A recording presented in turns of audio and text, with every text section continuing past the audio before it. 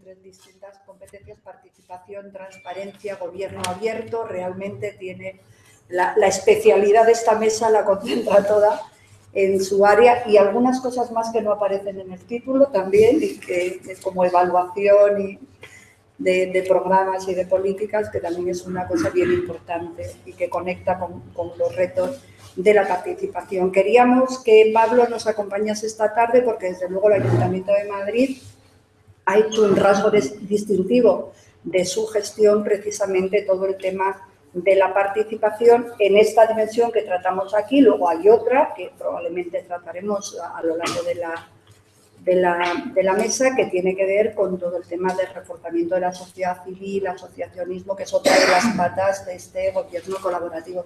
Quiero darle las gracias a Pablo por estar. Eh, continuando con la ronda de presentaciones, tenemos a Jesús Vázquez, él es el alcalde de Orense, es profesor titular de la Universidad de Vigo en el área de organización de empresas, pero en estos momentos está en la responsabilidad pública y en, viene en condición de alcalde de Orense, pero eh, sobre todo de que en la FEMP es el responsable de los procesos del área de modernización también le damos la bienvenida, las gracias. Sabemos que aquí somos firmes defensores de la administración local. Es verdad que ya quedamos muy pocos, hay que reforzar ese discurso porque desde luego mm, yo creo que hay que señalar siempre que la administración local ha sido clave para el desarrollo y modernización del país. Otras cosas es que uno, como siempre, llega a su ascenso más sonoro y muchas veces a las caídas también más sonoras y rotundas. No son los mejores tiempos para la administración local, pero desde luego eh, conviene rescatar que la administración local ha sido el laboratorio de los procesos de modernización y probablemente lo sea para los retos que nos quedan por participación gobierno abierto. Y continúo con la ronda de presentaciones y tenemos al profesor Tomás eh, Rodríguez Villasante, profesor de muchos de los que estamos aquí, profesor emérito de la Universidad Complutense de Madrid y desde luego que ha hecho de la participación y la implicación de la ciudadanía en los procesos de gestión y de gobierno uno de los pioneros en estos temas y desde luego sigue trabajando en ellos con una gran lucidez. Les damos la bienvenida a los tres. Les recuerdo que esto es una mesa, que es una mesa de discusión. Yo les rogaría que hicieran una introducción de 10, máximo 15 minutos cada uno a propósito de precisamente cuáles son los retos de la participación, que después entre ustedes discutiesen del término y, por supuesto, la clave de la participación está en la participación de quienes nos están escuchando. Estaría bien que pudiésemos dar eh, pues una ronda de intervenciones y de planteamientos. Muchas gracias y como queráis. ¿Quién quiere abrir turno? ¿Pablo? pues venga, Pablo, adelante. Muchas bueno, gracias. Muchas, muchas gracias eh, a vosotros y vosotras y a todos los asistentes y también a los que nos ven desde, desde América Latina. Un, saludo eh, fraternal. Bueno, voy a, yo creo que no voy a usar los 15 minutos porque quizás la parte más interesante va a ser cuando podamos contrastar o confrontar diversas visiones o, o diversos eh, planteamientos al respecto de qué es la participación ciudadana o de cómo abordar eh, la vida en comunidad, la vida en sociedad, eh, usando la participación ciudadana como elemento de convivencia y de acuerdo y de... Em, la, la, palabra, la verdad es que no ayuda. La palabra participación se puede usar casi para todo. Ahora estamos participando en un debate, pues a lo mejor nosotros sí, pero vosotros no. Eh, estamos cuando, cuando tú corres una maratón, participas en una maratón, pero en realidad cuando hablamos de participación ciudadana en política, lo que yo entiendo, como yo eh, creo que, que, debemos enmarcar la participación, es hablar de participar en el proceso de toma de decisiones. Es decir, no ser parte de una cosa, sino ser parte de que se decida si esa cosa ha de ser o no ha de ser. Eh, los esclavos participaron en la, construcción de las pirámides, pero eh, creo que no hablamos de eso, ¿verdad? Hablamos de participación ciudadana como toma de riendas por parte de la ciudadanía en el proceso de construcción política del sujeto del que se conforma. En el caso de la ciudad, vamos a decidir entre todos cómo es la ciudad que habitamos. Claro, cuando ponemos ese marco ya, ya eh, parece que es algo muy de sentido común, pero en realidad ya no, es, ya no todo el mundo puede compartir este marco. Ya no todo el mundo está de acuerdo en que, debamos decidir y votar entre todos todas las, eh, todas las cuestiones que nos atañen. Fijaros un, un ejemplo muy, muy sencillo, los presupuestos participativos, de los que Tomás es un experto absoluto, eh, pero yo en la vivencia que estamos teniendo veo aquí algún funcionario, alguna funcionaria y funcionario del Ayuntamiento de Madrid. Eh, estamos ahora viviendo la experiencia primera de presupuestos participativos en la Ciudad de Madrid. Aunque ya muchos lo sabéis, para quienes no conocen bien lo que es son los presupuestos participativos, consiste en que una pequeña parte del presupuesto municipal se decida directamente por los vecinos a qué se va a dedicar ese dinero. En el caso de Madrid, eh, hemos abierto un proceso este año por primera vez eh, con 60 millones de euros, que parece mucho dinero, es de hecho mucho dinero, da para hacer escuelas, da para hacer carriles bici, para hacer parques, pero si os fijáis es un poco más del 1% del presupuesto del Ayuntamiento de Madrid. Eh, bueno, poner ese dinero en manos directamente de la, gente en un proceso que se ha extendido por todos los sitios del mundo. Esto de los presupuestos participativos empezó en, en Porto Alegre, en Brasil, a finales de los 80, pero ahora se ha extendido en miles de experiencias por los cinco continentes. En, Europa hay cientos y cientos de ciudades, ciudades que podrían ser equivalentes a Madrid, como puede ser París o como puede ser Nueva York. Digamos que no, no estamos ante un experimento eh, bolivariano ni a un soviet, eh, como podría decirnos eh, Esperanza Aguirre, ¿verdad?, ante la propuesta. Y, sin embargo, este esquema que se sabe que funciona, que está en marcha en muchos sitios del mundo, no a todo el mundo le parece que sea adecuado. Y fijaros, además, que lo hacemos directamente, la gente propone durante una fase, los técnicos del ayuntamiento analizan el coste de las propuestas para ver cuánto vale cada, una y ver las que son legales y las que no se podrían llevar a cabo. Y finalmente la gente vota, es un proceso absolutamente en manos de todos, en un proceso en el que el propio gobierno, en este caso de la Madrid, en la Ciudad de Madrid, podría decidir hacer su proyecto de presupuesto sin contar con nadie del Partido Popular y en, ese, en esa parte del presupuesto se abre a todo el mundo y aún así, desde la postura del Partido Popular, es que ese proceso no se debe hacer, que eso se debe cerrar, que debe ser el gobierno quien tome esas decisiones y no abrirlas a la ciudadanía. Por lo tanto, ahora ya, ahora ya vemos que esto de la participación ciudadana, pues no todo el mundo la entendemos igual, ¿no? Cuando hablábamos con, con Percival eh, Manglano, que es el concejal del Partido Popular en el Ayuntamiento de Madrid, que, un poco eh, lleva la, portavoz, portavocía en estos, en estos temas, eh, definía la participación ciudadana eh, como algo que ya está resuelto por los mecanismos de interacción sociales que existen, el principal de los cuál es el libre mercado. Es decir, la participación ciudadana se reduce a la compra y venta y la interacción económica con los diversos agentes y, bueno, más allá de eso, votar cada cuatro años quién va a ser quien tome las decisiones eh, políticas. Bueno, eh, creo que he soltado bastante ya en estos minutos, entonces, como ya he puesto bastante carne en el asador, voy a, voy a dejar un poco de, de cancha para luego y aquí me paro. Muy bien, Pablo, muchas gracias. Al final, y aprovecho para poner la conexión sobre la mesa, también tiene mucho que ver con todo un proceso de construcción de capital social y de reforzamiento democrático y, con la, la, diferencia entre democracia electiva y democracia efectiva, que es uno de los grandes retos que los gobiernos tienen encima de la mesa. ¿no? Eh, muchas gracias por, por tus.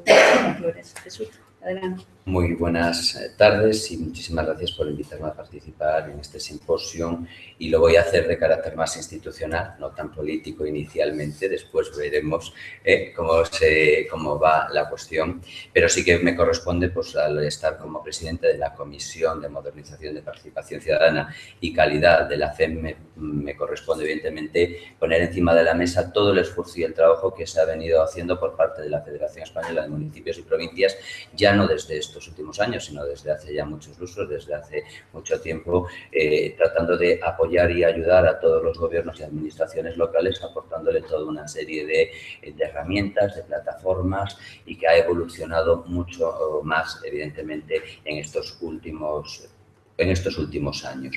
De todos modos, desde lo que es la constitución de la Federación Española de Municipios y Provincias, siempre ha mantenido un ámbito de trabajo para abordar precisamente los posibles enfoques y tratamientos de las políticas locales de participación ciudadana. Al final, al político nos corresponde como política solventar los problemas que se derivan de la colectividad y tratando de buscar soluciones. Por lo tanto, creo que la opinión y la participación en la búsqueda de las soluciones no es nada nuevo que descubramos ni hace un año, ni hace cinco, ni hace diez. Yo creo que precisamente las administraciones locales y aquellos alcaldes que han estado incluso mucho tiempo es porque han llevado a cabo prácticas de diálogo con sus vecinos, menos protocolizadas, más protocolizadas, pero que han sabido escuchar a sus vecinos. ¿no? En este momento ese ámbito precisamente es el de la comisión de la cual yo soy presidente, que es la Comisión de Modernización, Participación Ciudadana y Calidad. Por otro lado, ya en la Ley 7 eh, de 1985, la Ley Reguladora de Base del régimen local, eh, la propia participación se, se, proclama como un principio objetivo que afecta tanto a la organización como al ejercicio de competencias del propio municipio. Y por lo tanto, desde la FEM, asumiendo estos principios, han puesto en marcha toda una serie de medidas, eh, plataformas, como antes decía, a disposición de las entidades locales de lo más variado y casi siempre muy innovadoras y también debido al esfuerzo y, a la, y al propio trabajo de las propias administraciones que han servido, administraciones locales también, que han ido nutriendo y han ido tirando. Hablamos desde reglamentos tipo para facilitar la organización e impulso de espacios, órganos y dinámicas participativas y colaborativas, pero también eh, elementos como los códigos, el Código de Buen Gobierno de la FEM, a la cual los concellos, eh, perdón, ayuntamientos nos vamos adheriendo, ¿no? Con la finalidad precisamente de comprometer esfuerzos para restablecer el valor eh, del ejercicio de la política local. Somos la administración más cercana al ciudadano, por lo tanto es la que tiene que dar esa respuesta inmediata. Por eso tiene que tener ciertas competencias de cara a un uso o a una mayor eficiencia en la resolución de los conflictos o en la mejora de lo que es la calidad de vida de nuestros vecinos. Y es cierto que necesitamos recuperar también la confianza de los ciudadanos y más en estos últimos momentos. Por tanto, estos códigos hoy por hoy se hacen muy necesarios independientemente que, repito, yo creo que hay muchas alcaldías, muchas administraciones locales que no es nada nuevo, muchas de las cuestiones que ahora parece que estamos reinventando, ¿no? En este caso, el Código de Buen Gobierno de la propia Federación es, la que, es el que define los principales valores eh, públicos, establece estándares de conducta de los cargos públicos y de los directivos locales y supone, entre otros, la, la acepción por parte de aquellas personas que se adhieren voluntariamente de compromisos expresos con el desarrollo de la participación ciudadana como un elemento, como un instrumento clave a la hora de buscar lo que son gobiernos abiertos. Y, por tanto, entendemos mucho más en contacto con la ciudadanía y, por tanto, entendemos más resolutivos de cara a esa resolución de conflictos. ¿no? También es cierto que en este último periodo, desde lo que ha sido el inicio de la tramitación de la Ley Estatal de Transparencia y Buen Gobierno, el foco de atención se ha puesto precisamente en torno a esta esfera la ordenanza tipo de, de, transparencia, acceso a la información y reutilización es una referencia clave, tiene que ser una referencia clave, pues estamos hablando de una ley para las administraciones locales y eh, es en cierta medida una guía para la implantación también de principios y actuaciones y no puede quedar en un mero cumplimiento o en un mero eslogan o en una mera eh, propaganda, sino que hay una serie de obligaciones que hay, eh, que hay que cumplir.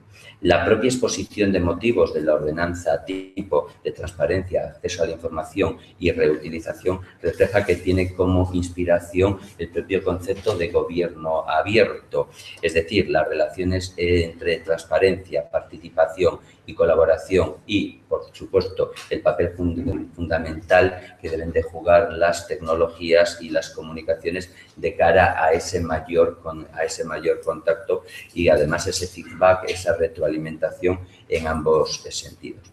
La ordenanza dedica un capítulo, que entiendo que es muy importante, un capítulo específico a la transparencia colaborativa, cuyo objetivo fundamental es la generación de valor, tanto en el ámbito político como eh, bueno, en el ámbito social y económico, regulando el régimen de reutilización de la información Además de todo esto, la FEN, repito, establece otras líneas de trabajo y viene apoyando a, los, a las administraciones locales, no solo a través de convenios con otras administraciones o con, eh, con, con, ciertos ministerios o instituciones de cara a que le proporciona toda una serie de plataformas, sino también apoyo en cuanto a asistencias técnicas a los municipios, especialmente a los más pequeños, de cara al cumplimiento de las exigencias de la normativa que ya por hoy hay que cumplir y que es bastante estricta y amplia.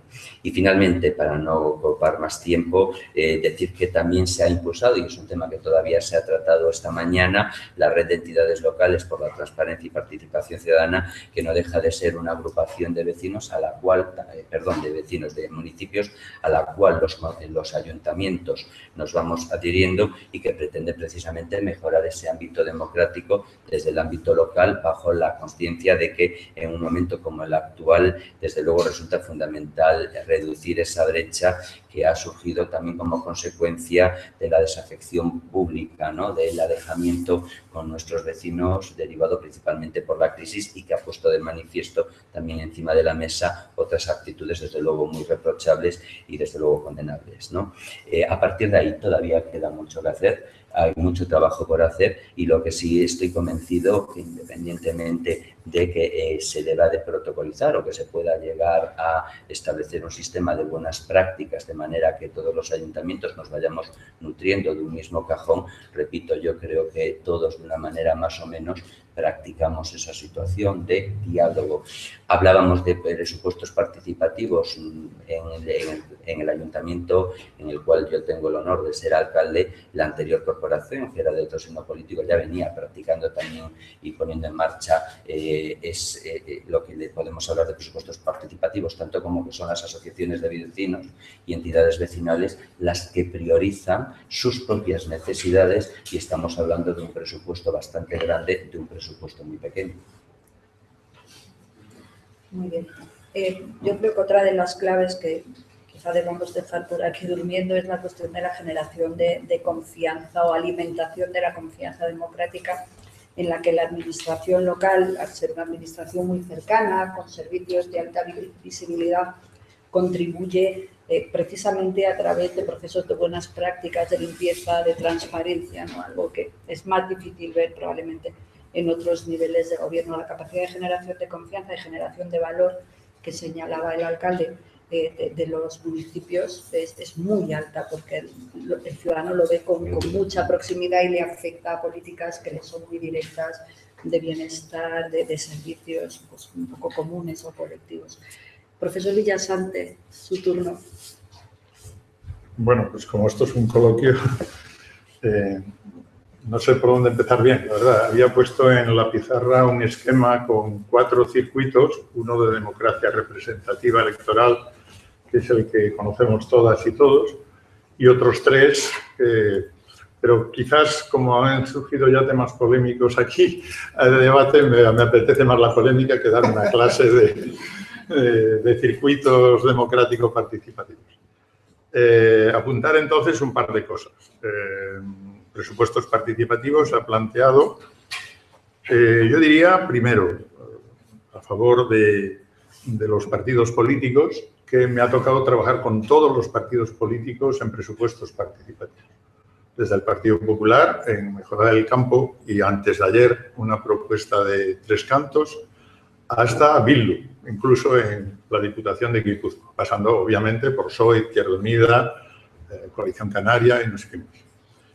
Eh, por lo tanto, mi impresión es que no es tanto una cuestión de partido político como una cuestión de personas dentro de los partidos que creen o no creen en una metodología participativa, en unos presupuestos participativos. Y yo creo que hay debates, debates dentro del PP, por lo menos yo los he conocido, del PSOE, de Izquierda Unida, de Podemos, de, lo que queráis.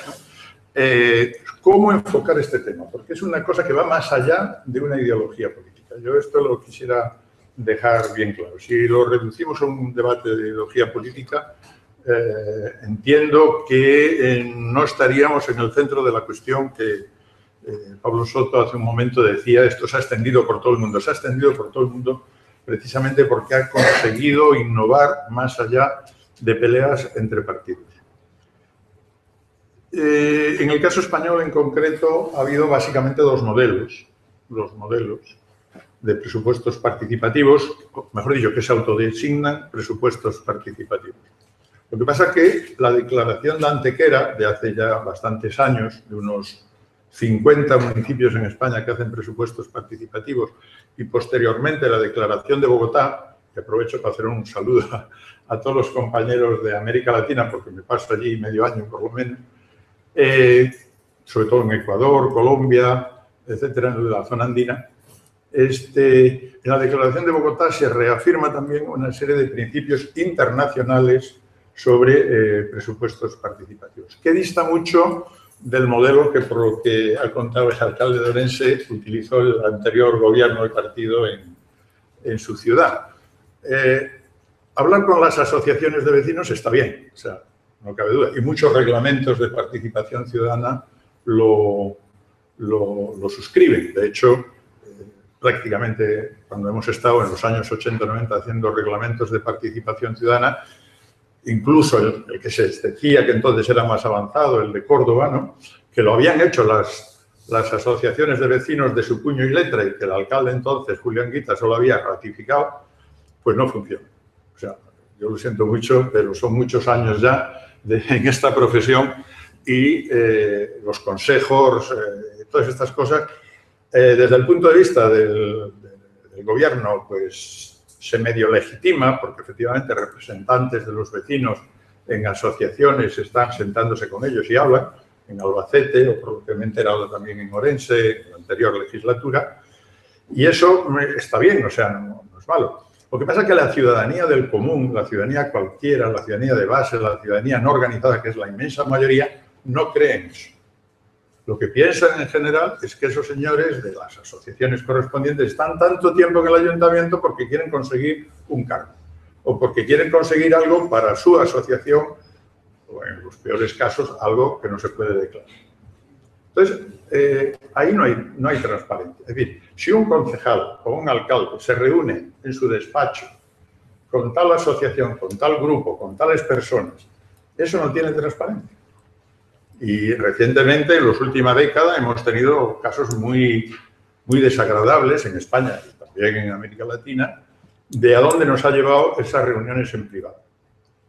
Con lo cual, yo creo que lo que se está innovando con los presupuestos participativos, ojo, según el Banco Mundial, no según ningún profesor universitario, es que los presupuestos participativos son la mejor herramienta para evitar que haya corruptelas, corrupciones, para que haya transparencia, etcétera, etcétera, etcétera. Y aquí ya entramos en que hay diversas formas de hacer los presupuestos participativos en un sentido de que participe toda la ciudadanía, no necesariamente ni principalmente a través de asociaciones. Por ejemplo, me tocó ser director metodológico en Sevilla, un gobierno PSOE Izquierda Unida, 2007, perdón, 2003-2007. Empezamos con 2.000, 3.000 personas, que en cuanto uno las veía en las reuniones, uno sabía que era de la asociación tal, pero que en el fondo era de tal ideología. Esto nos ocurre a todos. Cuando acabamos esos cuatro años, había unas 15.000 personas. El éxito no es que hubiéramos multiplicado por cuatro, por cinco. El éxito es que había otro tipo de gente participando y haciendo las propuestas. Eso es lo que nos parece importante. 15.000, igual que 53.000 en Madrid o no sé cuántos miles en Orense, muy, eh, en porcentaje muy poco, pero cualitativamente es mucho, porque la gente dice, estaba todo. Y precisamente en Sevilla, a los cuatro años, cuando el ABC y algunos partidos decían, eso es una cosa muy radical, al final acabaron votando uno de los dos partidos, el Partido Andalucista o el PP, no me acuerdo, a favor y el otro se abstuvo para que siguieran los presupuestos participativos. Y siguió el, Partido Popular eh, gobernando en los últimos cuatro años y mantuvo los presupuestos participativos. ¿Por qué? Porque había una participación real de gente no partidaria que estaba tomando decisiones eh, desde la iniciativa, ni siquiera que el ayuntamiento les planteara esto, ¿qué les parece a ustedes? Como un sondeo, como un referéndum, como... No, no, no que la propia agenda del proceso la hacen eh, la, gente, la gente del común, la gente que se quiere organizar y que quiere empezar a que en su barrio, en su colegio, en no sé qué, haya iniciativas. En ese sentido, mm, yo apuntaría dos cosas claramente. Creo que hay que innovar, creo que hay que cambiar algunas de las pautas, que no basta con los reglamentos y las ordenanzas. No digo que estén mal, digo que están bien, es un mínimo. Cuando falla todo lo demás hay que tirar del reglamento o hay que tirar de la ordenanza, hay que tirar de las leyes.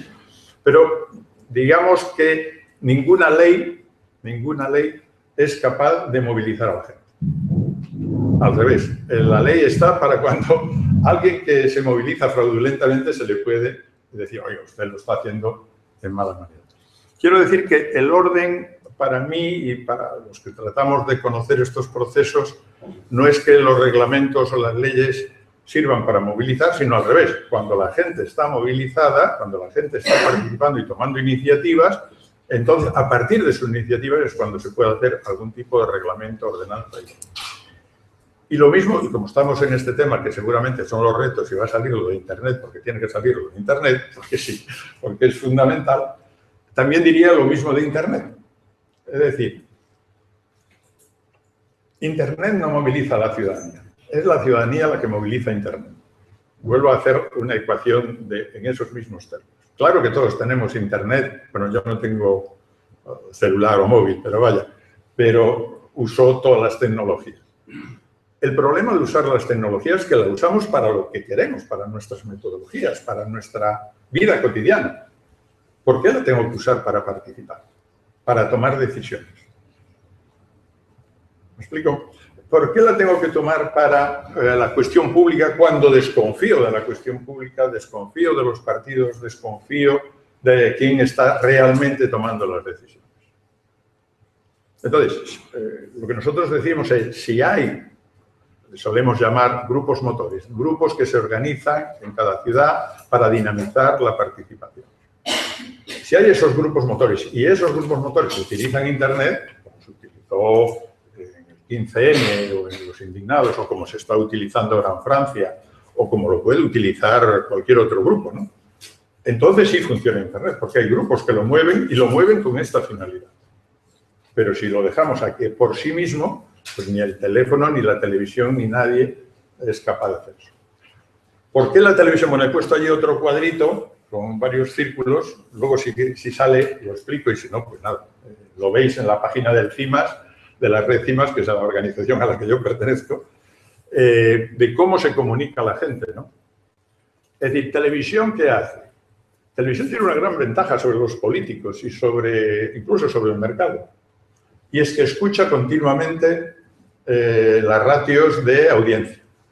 Y según cómo va la audiencia, cambia el programa, incluidas las teleseries.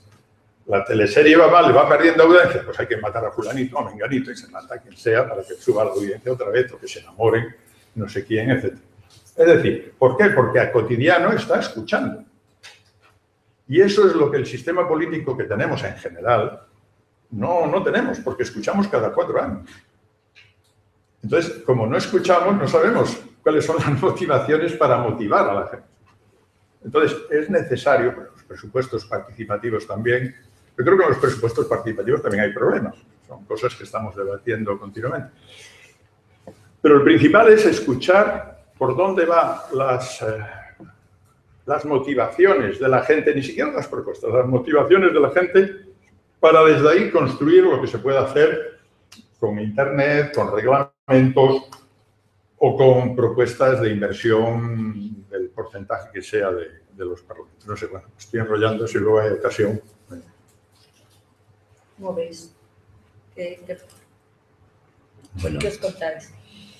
Que al final estamos hablando de que el sistema es imperfecto en todos los casos, porque evidentemente podemos poner objeciones, pero también podríamos poner objeciones que para que sean participativos tiene que entonces intervenir el 100% de los interesados porque evidentemente la red es muy, eh, y lo hablo a lo mejor ya desde la experiencia más cercana a una comunidad eh, donde hay mucho rural o donde las redes puede parecer que no llegan, pero sí que están llegando en este momento el 98% de cobertura del territorio gallego, evidentemente necesitarías que actuara el 100% de los individuos, ¿no? Eh, cuando hablamos de grupos motores, es que a veces tengo la sensación que los grupos motores muchas veces actúan con una ideología detrás y con un preconcepto ya intentando de intentar convencer al resto y entonces tampoco es participativo porque no hay una verdadera libertad para que tú lo realmente eh, actúes en base a lo que tú creas y no entre lo que te venga dirigido, ¿no? Yo creo que ejemplos de esos tenemos miles, ¿no? Se crean plataformas y, yo que formé parte de un gobierno y estuve en un área pues, difícil como es cultura y educación, en un momento de unos ajustes terribles que hemos sufrido como consecuencia, pues es que al final muchas veces había ciertos grupos que te echaban en cara, tiene usted todos en contra, tiene 20 grupos que han firmado en contra de tal decreto. Los 20 grupos eran los mismos, que intervenía el mismo en cinco plataformas distintas.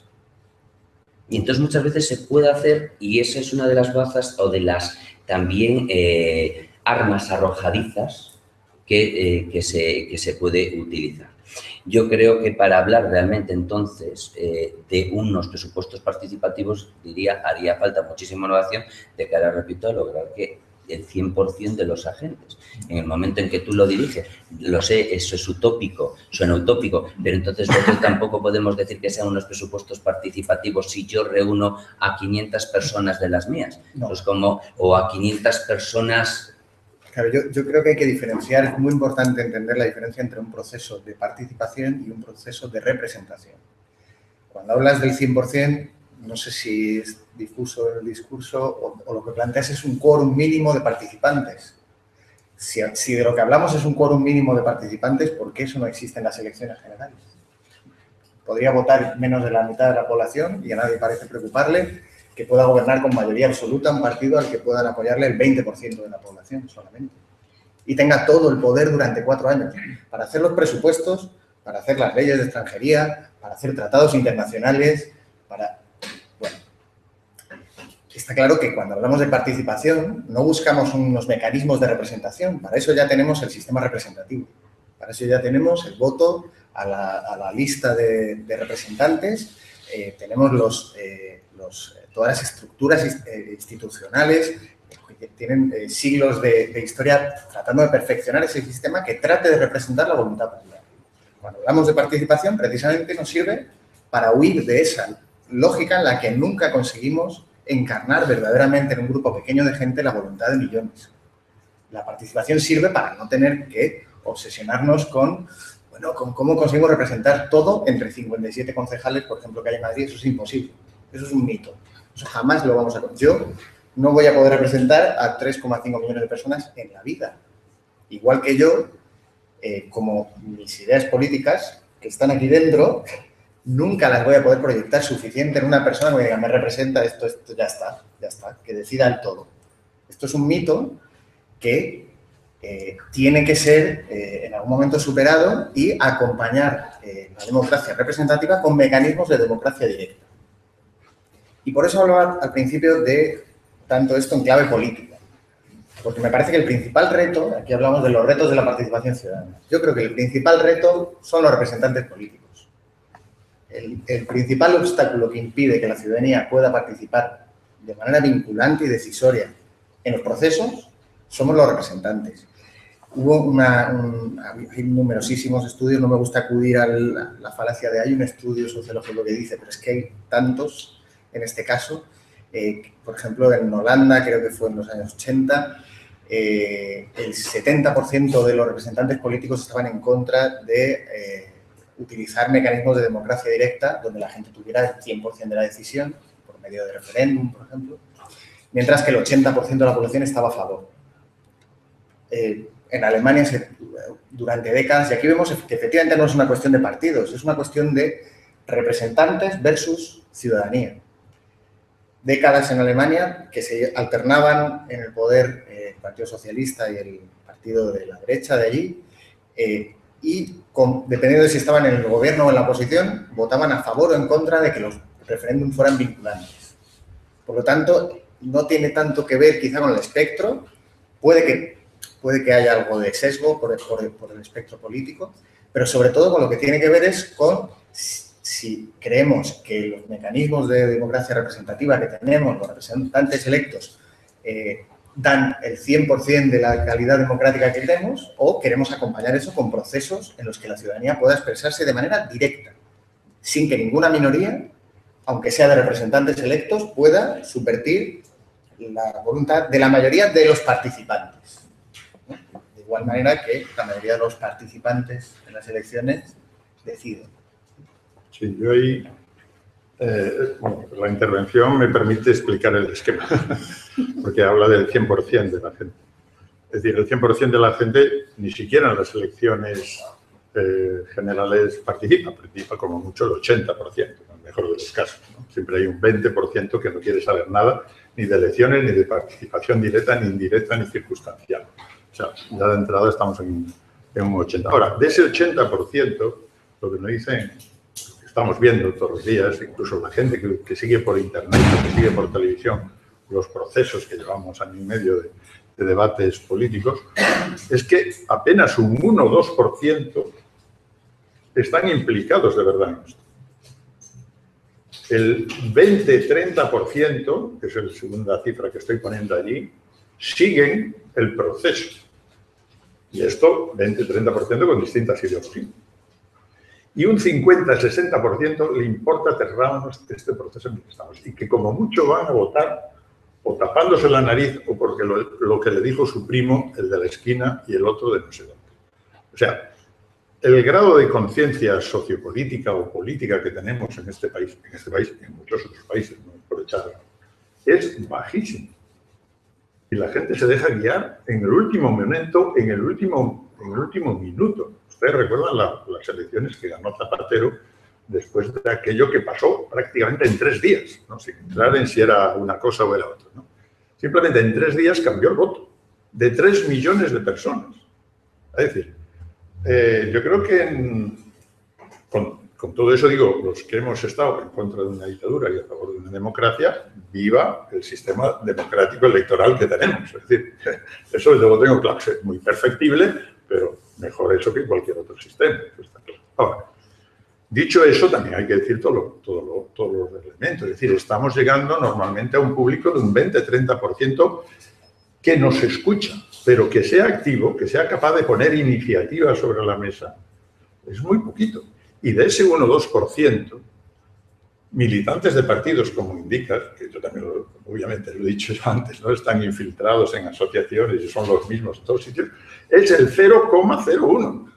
Ni siquiera llega al 1 o 2%. Es decir, si yo en Madrid tuviéramos 53.000 personas eh, en ese 1 o 2%, eh, ya tendríamos esos 53.000 no son de ningún partido.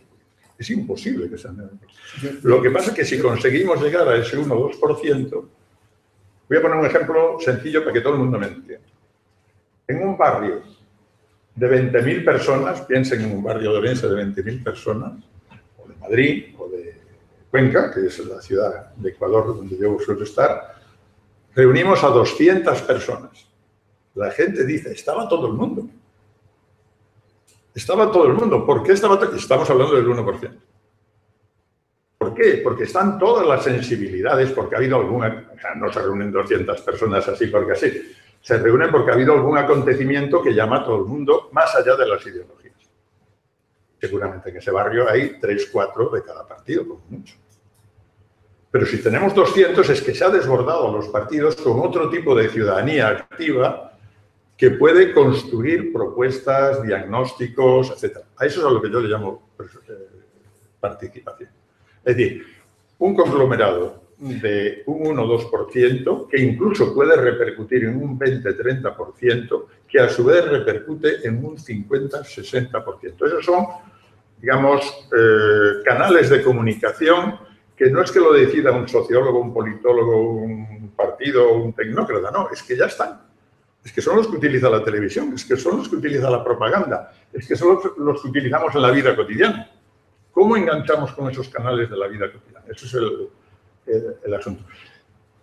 Por lo cual quiero decir que a lo que viene eh, un concejal que ya tiene la legitimidad de sus votos y que ni siquiera llenando un campo de fútbol va a tener más gente que con sus votos, seguro que llenas el campo de, de fútbol de Orense, y, tú tienes más votos que el campo de fútbol orense. Entonces, y llenamos el campo del fútbol orense ¿para qué? Para que la gente grite, para que la gente aclame. Eso no es construcción participativa, eso es aclamar. Eso es una cosa que está muy bien, es una fiesta, ¿no? Pero si queremos hacer una construcción, necesitamos grupos pequeños que discutan entre sí, que deliberen, sea por internet o sea cara a cara, y que hagan propuestas y que esas propuestas tengan un canal clarito, clarito, clarito, que le llegue al concejal, que le llegue al alcalde, para que en el pleno, con sus votos, diga, yo me he basado en mis técnicos, pero también me he basado en 200, 300, 4.000, 15.000 personas. Eso es la legitimidad, pero no es una legitimidad numérica. Es una legitimidad de construcción colectiva desde diferentes intereses. En vez de esos 200 echarlos a pelear, a que voten por este, por aquel, les echamos a que colaboren, a decir qué es lo mejor para nuestro barrio. Y que se pongan de acuerdo porque las metodologías participativas consisten en que se pongan de acuerdo aunque sean de distintas ideologías. Con lo cual, superamos la otra cuestión que decías, que sean disfrazados del partido tal o del partido cual. Oiga, si reunimos a 20, sí son disfrazados, pero si reunimos ya a 200, ya no son disfrazados. No pueden ser disfrazados. Y más si el grupo motor, que es el que debe manejar, no su ideología, porque no es una plataforma, sino una metodología de que participe la gente, que es distinto. En mis libros lo tengo claro menos ideología y más metodología. Para estas cosas, la ideología, que todos tenemos una, nos la guardamos en el bolsillo y sacamos la metodología. Y el alcalde Torres, que tú conocerás de Málaga, me llamó y me dijo, mira, en este barrio no tenemos forma de arreglar esto. Palma palmilla. Que venga un metodólogo para que quitemos la ideología y para que problemas de violencia entre etnias los podamos resolver porque eso está más allá de, la, de las ideologías. Con una metodología participativa de democracia participativa desde la base, bueno, estoy enrollando, perdón, porque tengo... Bueno, pero tienes toda la razón. Yo te voy a matizar, porque además eh, hace poco reunido con unos eh, amigos de Grecia. Eh, ellos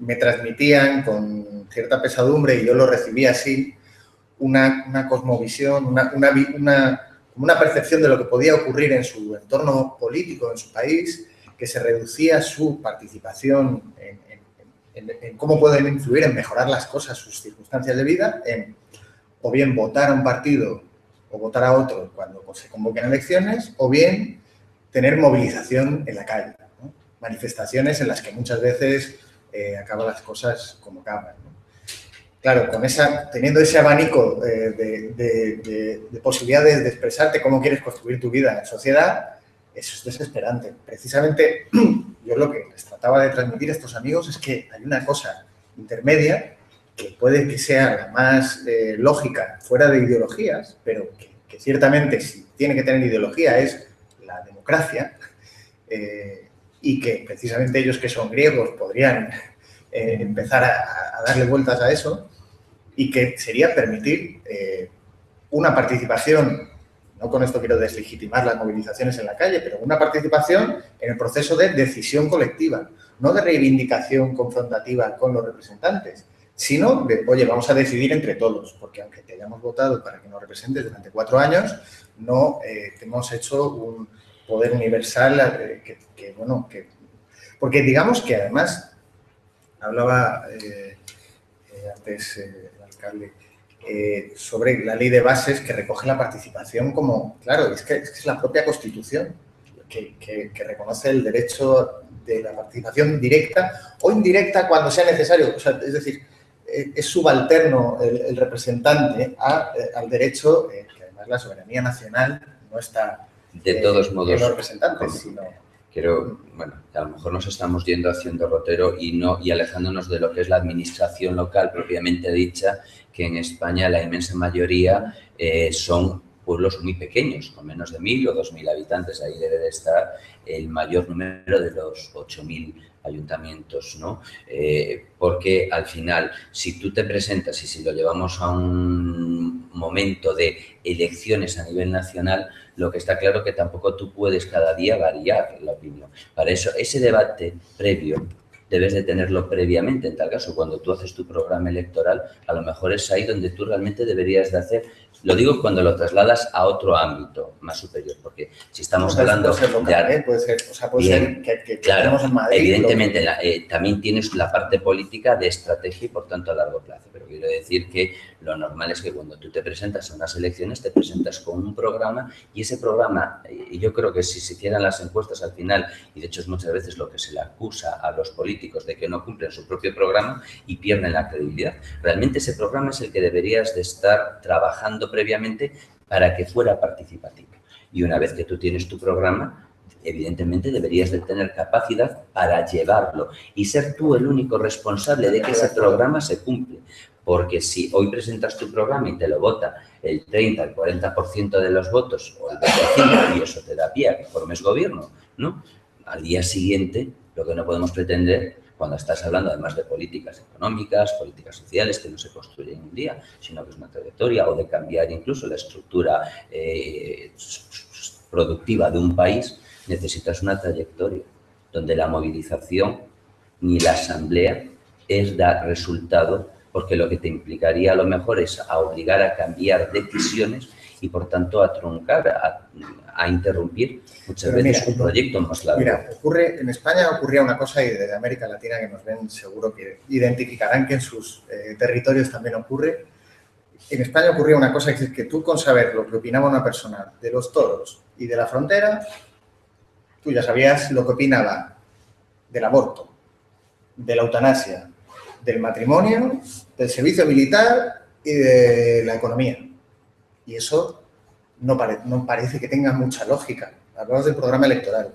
Una cosa que habla de derechos humanos como de algo tan superficial como eh, la televisión, o que habla eh, de, pues, de la alimentación y de cómo los, eh, el territorio agrícola se van a sacar adelante los temas, o de, bueno, de, de temáticas tan absolutamente distintas, es imposible que haya millones de personas, además, que suscriben el 100% de eso. Y el siguiente que ha votado otro partido suscribe el 0% y el 100% de- del resto de la gente suscribe ese otro programa. Eso, eso Pero es imposible. Pero eso tampoco quita, bueno, pero quiero decir, eso es imposible, pero no quita lo que ha comentado. Fíjate, en tres días se pasó de que se le daba mayoría prácticamente absoluta a un partido a que hubo un giro y gobierna Zapatero, ¿no? En tres días, por un acontecimiento. Imagínate si mañana tienes un acontecimiento y tú estás llevando incluso un buen camino, o lo que tú consideras un buen camino, acorde al programa con el que tú te presentaste, por lo tanto, que estás siendo leal a tus electores y que incluso hayas tenido un porcentaje de voto significativo y que por cualquier decisión, que a veces no tiene por qué ser la correcta, y a la prueba me remito, tengas la obligación de cambiar lo que tú creías y además eh, estabas seguro de que estabas haciendo Pero porque bien. la mayoría de la ciudadanía está en contra de eso. A lo mejor en un momento dado, pero por una Hombre, pero a lo mejor circunstancia. el que está equivocado, si la mayoría vota una cosa, a lo mejor el que está equivocado eres tú. Claro, lo que no puede ser una compañera mía de facultad, pues no voy a decir nombre, claro. Dijo, es que han ido a votar tres millones más de gentes. Claro, pues sí, eh, son tres millones de más de gentes de ese 50-60% que nunca va, es verdad, pero tienen derecho a ir a votar. No creen en los políticos, pero a lo mejor creen que entre seguir en una guerra o salir de una guerra, yo no. Yo soy de los que eh, estaría por decirle a Zapatero, no nos falles si nos fallaste. Es decir, no, no- no estoy defendiendo No, eso, lo que estoy defendiendo es la legitimidad Por que, supuesto. que tiene la que gente tiene la de ir a gente votar. Para ir a votar, totalmente. Si no estaríamos. El problema es que esa gente es poco, está poco ilustrada y que Espera, ha tomado no, una no decisión. con Zapatero porque estamos tocando No, un tema no, no. súper interesante que era Estaríamos. ¿Qué ocurre con una decisión concreta que va en el PAC de lo que el- el- el- con toda la legitimidad los representantes quieren hacer un PAC de mil medidas? Nosotros ahora estamos haciendo el programa operativo de gobierno, más de mil actuaciones. Hmm. ¿Está, todo, está la mayoría que eh, ha, ha puesto de alcaldesa Manuela eh, de Madrid de acuerdo con todas esas mil actuaciones y con ninguna de las que... Eso, pues no, eso, eso no va a ser así. Por lo tanto, Pero entonces Es están aquí fallando esos tocamos. principios. Vuelvo a decir que estaríamos diciendo que un propio político está fallando a sus propios no, principios. es, es el- es la metodología. Es que yo no puedo compartir el 100% de las opiniones con nadie, es- eso es complicadísimo. Y mucho menos que millones de personas entre sí y con un partido estén de acuerdo en todo. todo. Eso, eso no va a ocurrir. Por lo tanto, veamos qué, qué- qué- qué- elementos tenemos. Pues, eh, mira, en Suiza, por ejemplo, a nivel local, cuando se aprueba una cosa en el Pleno, sale a los tres días publicada en el boletín, como ocurre en el Ayuntamiento de Madrid. En el Ayuntamiento de Madrid entra en vigor según queda publicada. Eh, eh, en Suiza, eh, en Lausanne, por ejemplo, se publica y hay un plazo de 21 días, que son tres semanas, hasta que entra en vigor. Yo les pregunto, bueno, ¿esto ralentiza mucho? Pues no, porque de, de- todos los plazos que tiene esto, estos son seis meses. Entonces, los últimos 21 días, igual que aquí, los emplearemos en qué intervención o no sé qué. Bueno, vale. Durante esos 21 días, si alguien está en contra de esa, y cuando digo alguien, digo cualquier persona de un municipio, está en contra de- de esa ley y cree que una mayoría va a estar también en contra, puede hacer una petición. Si hace la petición, tiene tres meses en los que está en suspenso la entrada en vigor de esa, normativa y tiene tres meses para juntar un, un porcentaje del censo, el 2% creo que era, de firmas. Si en esos tres meses junta esas firmas, se paraliza definitivamente la aplicación de esa ley hasta que se vota. Se vota en referéndum, si la mayoría está de acuerdo, entra en vigor, y si no está de acuerdo, no, no entra en vigor. Fíjate qué mecanismo que allí mismo el gobierno sabe que como se le ocurra aprobar algo con lo que la gente no esté de acuerdo, se lo paran. Un pelotazo eh, de estos de no, se no lo verás en Suiza. Bien, Porque pero el programa no puede prever todo lo que se va a hacer en cuatro años. Y porque no todo lo que hace el gobierno está en el programa. También. Todos modos, vuelvo a decir, si te bajas a nivel local, tú no podrías aplicar esa filosofía. Porque la persona que tiene un problema, por ejemplo, de discapacidad y que lo tienes que resolver, no puedes esperar a que muchas veces recibas la opinión.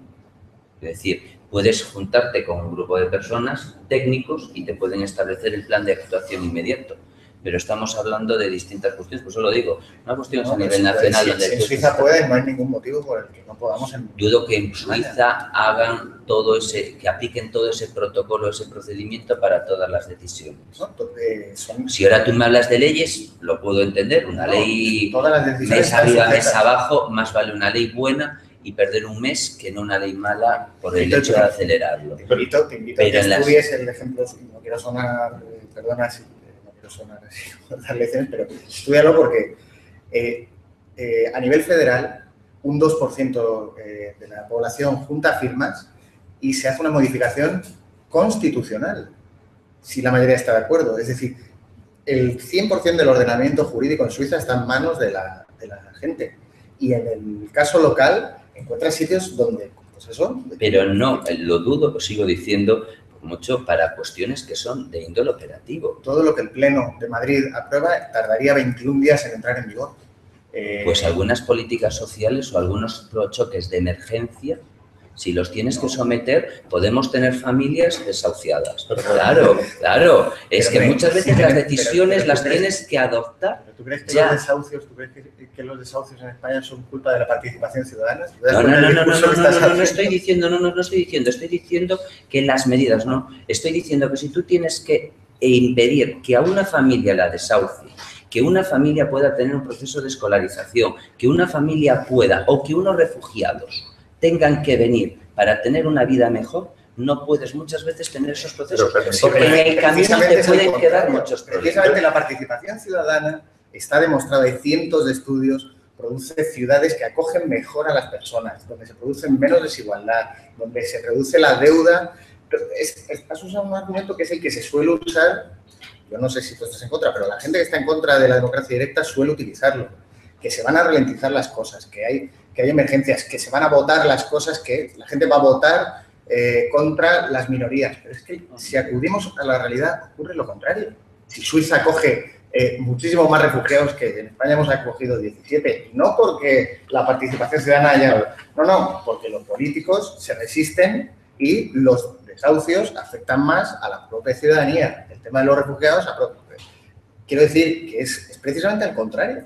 Yo lo que quisiera decir es que estamos con, con medidas o con políticas de distintos niveles. Entonces, para, para situar cada hay planes a medio y largo plazo, como puede ser el plan de ordenación urbana, eh, que se hay que resolverlos participativamente, porque planificación participativa existe y, y eso estamos proyectando no a una legislatura, sino a dos o tres legislaturas y es fundamental que haya planificación participativa.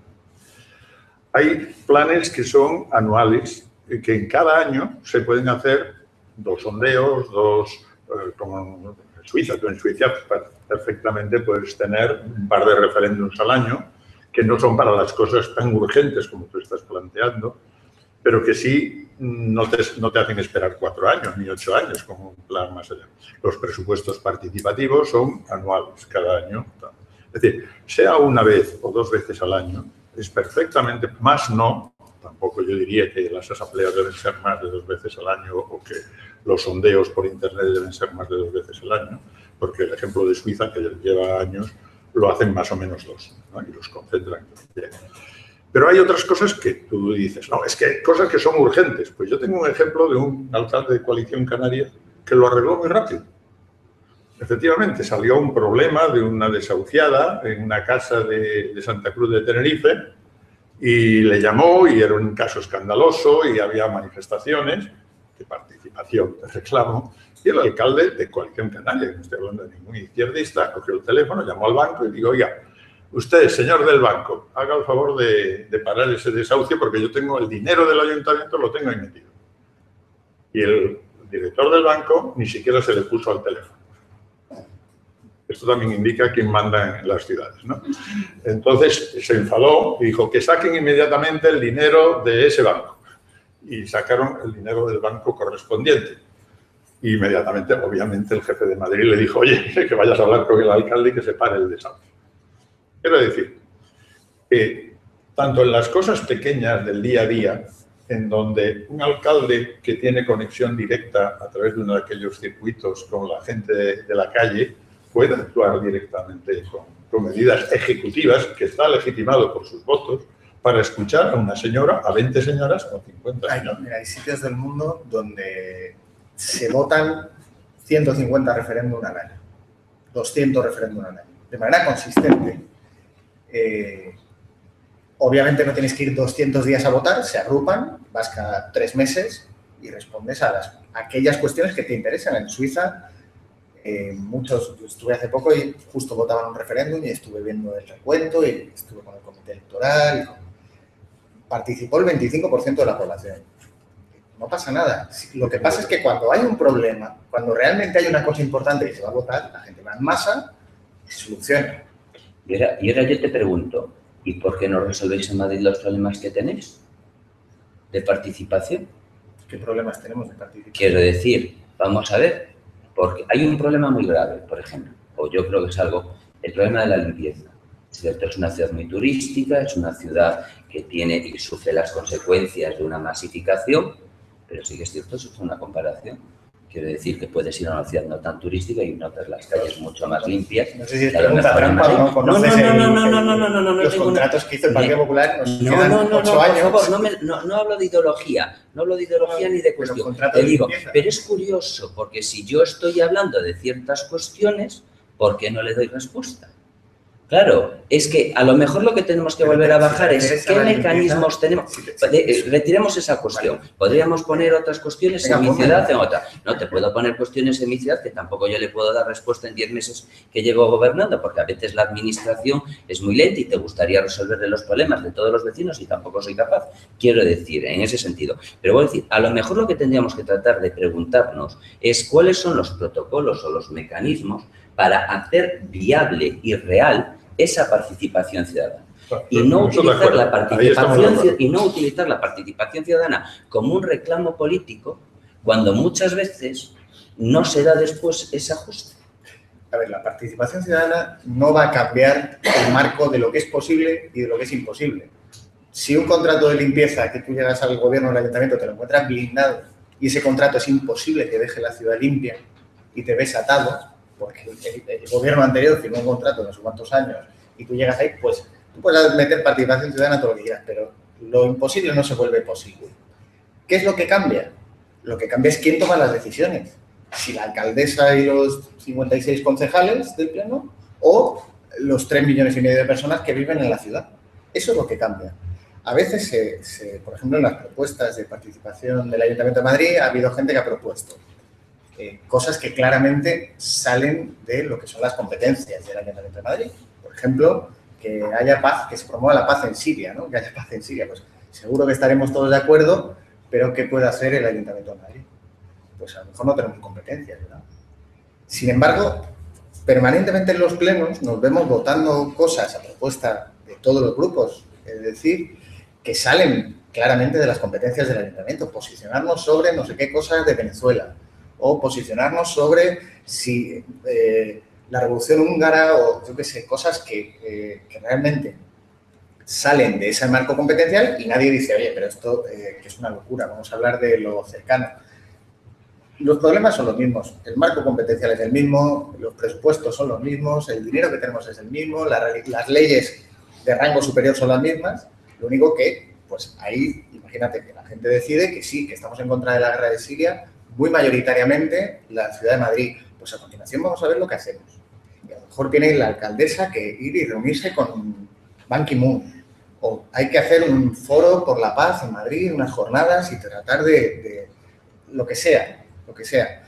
Eh, como digo, lo importante que podemos hacer y, que es lo que aquí es donde realmente tenemos que llegar es a decir, bueno, vamos a ver qué mecanismos utilizamos para que la gente pueda verdaderamente decidir en contra de los representantes, porque es ahí donde está el poder. Cuando la mayoría social puede decir en un momento determinado, oye, que esto que hace el gobierno no nos gusta y lo paramos. Fíjate, es un mecanismo de parar, capaz de parar guerras. ¿Qué, mecanismo jurídico es capaz de parar una guerra? Prácticamente ninguno, porque cuando un gobierno decide que se mete en una guerra, le da igual las leyes que tiene que cambiar. fíjate que estos mecanismos de democracia directa en aquellos sitios donde está a nivel federal, en Estados Unidos está en algunos estados, pero no a nivel federal, en Suiza está a nivel federal, en otros países está a nivel federal, esos países es prácticamente imposible que se metan en una guerra, porque la mayoría social lo va a parar. Hay una, hay una, cosa en la que yo discrepo contigo, porque aquí todos tenemos que discrepar, todos espero, más es un debate, y es que la diferencia no creo que sea que en los cincuenta y tantos concejales decidáis con vuestros técnicos o que decidáis con los tres millones y medio. Yo ahí creo que a los tres millones y medio no vamos a llegar nunca. La diferencia para mí es que los cincuenta y tantos, o la parte mayoritaria de los cincuenta y tantos concejales, decidáis con la asesoría, obviamente, de, de los técnicos que tenéis y para mí, con que llegáramos a un 5 o un 10% de la población madrileña que no está ideologizada y que tiene sentido común para decirle a las cuatro fracciones políticas que hay allí, oiga, pónganse de acuerdo en esto y en esto, que es lo prioritario. Hombre, tú abres, luego que participe eso el es, que se... Eso, eso quiero decir. Yo creo que hay dos mecanismos clave, que son metodológicos. Uno es eh, por arriba, no hemos hablado de ellos, pero me gusta hablar con ellos porque el otro día desde la universidad se lo hemos propuesto al ayuntamiento.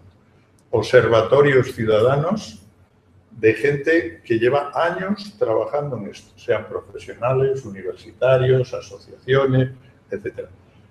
Con una carga equilibrada, no ideológica, sino con una carga metodológica. Porque en el debate partidario a veces no se debate de la propuesta, sino se debate del partido. Y entonces ya estamos fastidiando. Es decir, los ciudadanos se echan para atrás de la política de todos los partidos. ¿Cómo los ciudadanos podrían volver a confiar en esto? Hombre, si ven que en el debate, en vez de guerra de partidos, hay acuerdos de partidos porque desde fuera alguien les dice, oiga, en esto y en esto, discutan de todo, pero en esto y en esto es que es evidente que tenemos que estar dos, tres, cuatro partidos de acuerdo. Yo como eso lo he experimentado en varios sitios, cuando hay esos observatorios, eh, digamos, eh, un poco semi-externos o externos del todo, hay a mí me parece que es un, un, una buena cuestión para, para, cualquier municipio, para cualquier municipio que desideologice y que metodologice eso, a nivel de toda la ciudad. Y a nivel de, de barrio, a nivel de, de, servicio público, de cercanía, etcétera, creo que el que haya también grupos de personas mixtas, por ejemplo, en el presupuesto participativo de Madrid, en los tres ensayos que hicimos, yo estuve en el de Tetuán y en el de Usera. Eh, la invitación fue, a ver, olvídense de los carnetes de partidos. Aquí venimos a ponernos de acuerdo cuáles son las prioridades para Usera y para Tetuán. Y si usted es del Partido Popular, usted de Ciudadanos, usted de Podemos, usted de Izquierda Unida y usted no sé qué, aquí eso ni se menciona. Porque metodológicamente venimos a otra cosa. No venimos a votar ni a pelearnos unos con otros. La gente verá quién es más consecuente de ustedes a la hora de escuchar a los demás y de levantar sus propuestas. Ahí sí. Entonces yo digo, ese tipo de grupos metodológicos, para no llamarle motores, eh, de ciudadanos que están dispuestos, voluntariado, está dispuesto a hacer eso, a nivel descentralizado, sería fundamental también para, para Internet, sería fundamental para Internet, para que no dependa de que haya técnicos corriendo de un sitio para otro. Es una pequeña crítica que estoy haciendo a mi amigo Pablo. Este, eh, que haya esos grupos de ciudadanos que soporten todo ese, ese papel de una militancia democrática ciudadana, no democrática de otro sitio. Y que haya observatorios también de eso. Entonces, eso configura otro circuito de credibilidad de la gente no en lo que vota cada cuatro años, sino de lo que puede hacer eh, cada dos, tres, cuatro meses. Eso es muy difícil de pensar. Bueno, yo creo que desde hace 25, 30 años hay suficientes experiencias en eso. A, mí me gustaría, eh, eh, hablando de ese mecanismo que a mí quizás me tiene un poco obsesionado, no puedo evitarlo, que es este mecanismo de iniciativa ciudadana, que es que cualquier minoría puede poner sencillamente juntando las firmas, una propuesta encima de la mesa y que si la mayoría está de acuerdo, la mayoría de la población, eso se lleva a cabo. Que ese mecanismo lleva desde 1848 funcionando en Suiza, somos una sociedad absolutamente madura para incorporarlo. De hecho, está en el Reglamento Orgánico de Participación Ciudadana de muchas ciudades, de, Madrid está. Eh, lo que pasa es que está, bueno, pues está que en la exposición de motivos es maravillosa, pero luego acudes a las cifras y, claro, exige el 10% de eh, firmas. tendrías que hacer una... Nunca ninguna iniciativa en Madrid ha, llegado a ese punto. Y además eh, existe la posibilidad de que el Pleno la bloquee y entonces no, no llega al pues, Lo que ha pasado con las ILPs, las iniciativas legislativas populares en España, ha habido 94 y se han rechazado sin más 92. Y las otras dos que se han aprobado, pues una era de, pues, de un tema de tauromaquia que ya estaba en el programa electoral del partido que gobernaba y otra eh, estaba, fue supeditada por una ley mayor que la incluía. Quiero decir, eh, está claro que este mecanismo, que, está comprobado, que insisto que funciona, porque en, los sitios en los que está funcionando no hablamos de, lugares exóticos donde reina el caos, sino que hablamos pues, de Suiza, de estados de Alemania, de estados de Estados Unidos, de sitios donde se resuelven los problemas de una manera muy democrática este mecanismo España eh, lo puede empezar a incorporar. Y la vía para que lo empiece a incorporar son los municipios. Es decir, que las ciudades empiecen a probar este mecanismo. Eh, nosotros en Madrid estamos intentando hacerlo no, no como reclamo de nada, sino porque realmente pensamos que esa es la manera en la que podemos profundizar en la democracia. Que esa es la manera a través de la cual, utilizando la participación ciudadana como elemento troncal, podemos pues bueno, pensar en, una sociedad mejor que la que tenemos, unas instituciones que funcionen mejor, donde eh, esto, pues esas reclamas sociales que hay al respecto de que democraticemos las instituciones llega a buen punto. Entonces, a mí me gustaría que esto fuera algo que pudiéramos eh, reconocer eh, unos y otros si estamos o no de acuerdo y cuál es nuestra posición, porque a veces parece como que se está politizando y, y realmente, pues pues sí, es que es política, es que es política, es que saber si estamos de acuerdo en que la mayoría eh, de la gente puede estar por encima de lo que diga el gobierno o no, cuando en un momento determinado no haya eh, acuerdo, es una cuestión política, de cómo concebimos la sociedad, si de una manera... Evidentemente que es cuestión política y dentro de la política de personas. A la mañana justo en la comisión, precisamente de la FEM, se presentaron distintos eh, proyectos decir, y había un municipio que no es muy grande, donde pidió una opinión sobre un tema, evidentemente, que iba a suponer un sacrificio económico el continuar o no con el proyecto.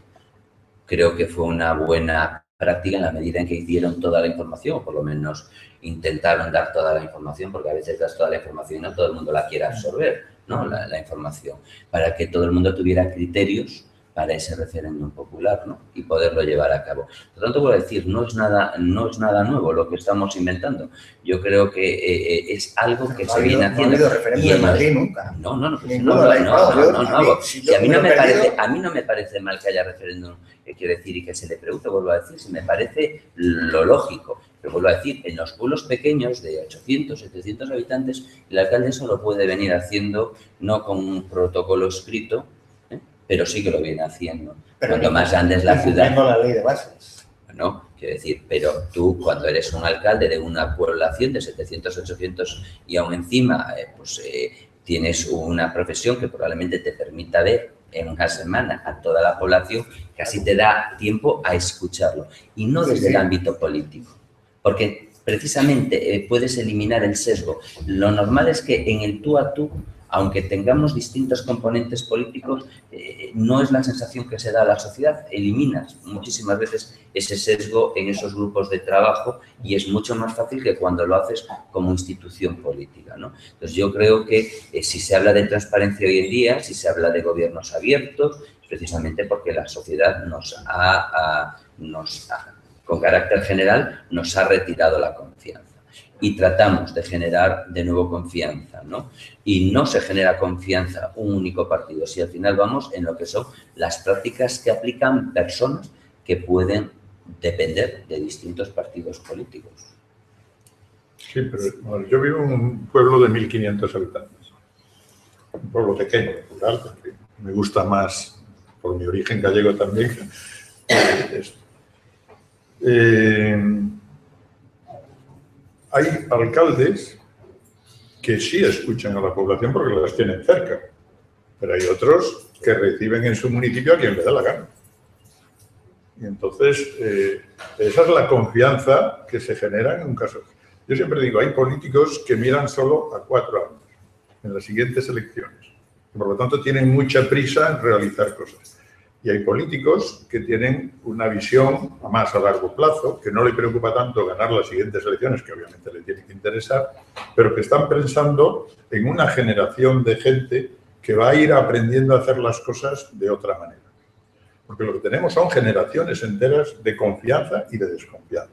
La generación mía, que es la que hicimos de alguna manera bien o mal la transición, eh, bueno, ya estamos en retirada. Esa es la, la verdad y hay otra nueva generación muy amplia, desde luego mis hijos, desde luego, que está manifestando, está manifestando claramente la desconfianza en todo, en todo. Entonces, si no hacemos cosas nuevas y no inventamos cosas nuevas, no vale repetir lo que veníamos haciendo. Porque la nueva generación, eh, no solamente aquí, sino en América Latina también, en Chile, en Ecuador, en Brasil, en Colombia, en todos los sitios, ya no cree en las formas que veníamos haciendo, que nos más o menos nos iban dando algunos resultados. Yo, como caso personal, yo jamás hubiera pensado meterme en política institucional, jamás.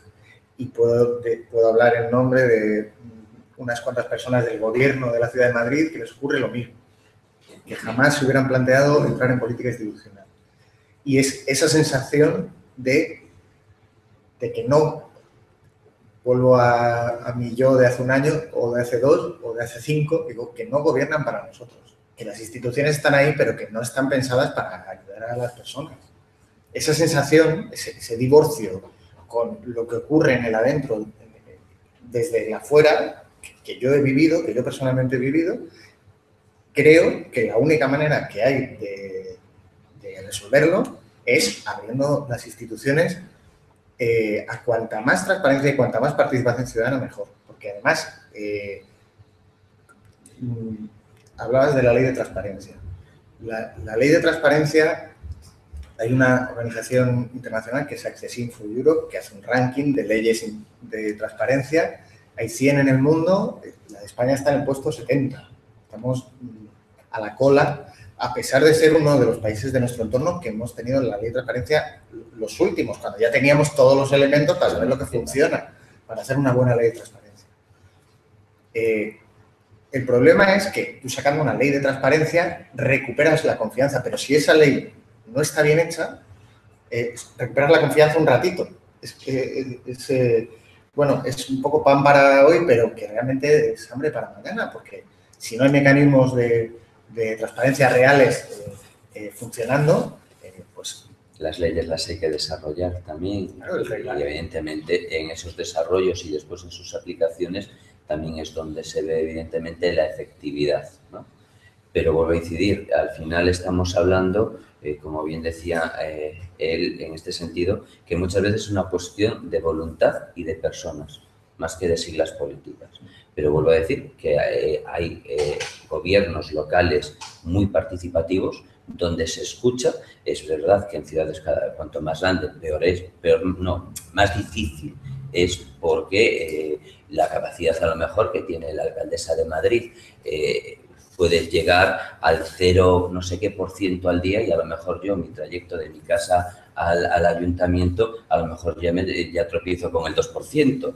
Es decir, es, muy distinto, ¿no? Con lo cual tienes eh, distintas posibilidades para en ese sentido saber o escuchar, eh, decir lo que es la opinión de la gente. ¿no? Pero vuelvo a decir, tendremos eh, en algo que ponernos de acuerdo y desde luego no es en el concepto de gobierno abierto, transparente, porque yo creo que nosotros estamos de acuerdo. ¿eh? Es decir, yo creo que nadie hoy te va a decir que la transparencia no es un elemento necesario y obligatorio por las circunstancias. Si alguien lo piensa, no se atreve a decirlo. Eso es cierto realmente la cuestión de la participación estamos viendo que es al mismo tiempo un reto y una gran dificultad, porque sin duda es clave para el desarrollo de los procesos democráticos y para que los gobiernos sean democráticos. Otra cosa es que su puesta en marcha, su desarrollo, genera también muchísimas dificultades. El, profesor eh, Villasante señalaba qué mecanismos tenemos lo que también a su vez es, absolutamente necesario es que es concebir que la participación es un derecho, ¿no? Es un derecho de la propia ciudadanía. Yo puedo decidir participar o no como ciudadana, ese es mi deseo o mi derecho. Puedo decir participo o no, pero si decido participar debería tener un mecanismo en el cual insertarme para que mi voz se oiga. ¿Cuántas veces ha ocurrido, perdona, que la gente ha querido participar y, lo único que podía hacer es pues montar ruido en la calle? Esto es así de triste. esto ha sido un páramo de participación. ¿no? no podemos decir, no, no, participación ha habido, esto no se ha inventado ahora. No. Es que mm, cuando hace cinco años se monta el 15M, pues es porque no existía un mecanismo donde la gente pudiera hacer propuestas vinculantes de manera que pudiera articular sus cosas y, finalmente, pues tampoco del 15M eh, el Parlamento avanzó en ninguna dirección con los oídos, escuchando un poco a, aquellas reclamas que el propio CIS dijo que el 80% de la población estaba de acuerdo con aquellas reivindicaciones y bueno, y ahora hay un terremoto político. ¿Por qué? Porque hay nuevos partidos que tratan de articular esos deseos de participación y transparencia. solo un segundo, pongamos el caso de Grecia. Muchas veces reflexionemos lo que ha pasado en Grecia, donde se le da a entender a la sociedad que sí se le va a tener en cuenta su opinión y no se le tiene. Eso es más frustrante que el hecho casi de que te digan los mecanismos o etcétera, porque realmente lo que ha pasado, y justo estos días hemos visto que a puerta cerrada, mientras se discutían toda una serie de recortes, ajustes, ¿eh? Por el problema que tiene, fuera se estaban manifestando igual que un año antes. Y eso también puede ser frustrante. Es un ejemplo perfecto. O sea, eh, eh, eh, convocaron, Grecia tiene un sistema de referéndum donde, punto número uno, no es vinculante jurídicamente, punto número dos, hay un quórum mínimo altísimo. Y precisamente ahí vemos que, que un sistema así no funciona. Han tenido dos referéndum y el anterior había sido como 30, 40 años atrás.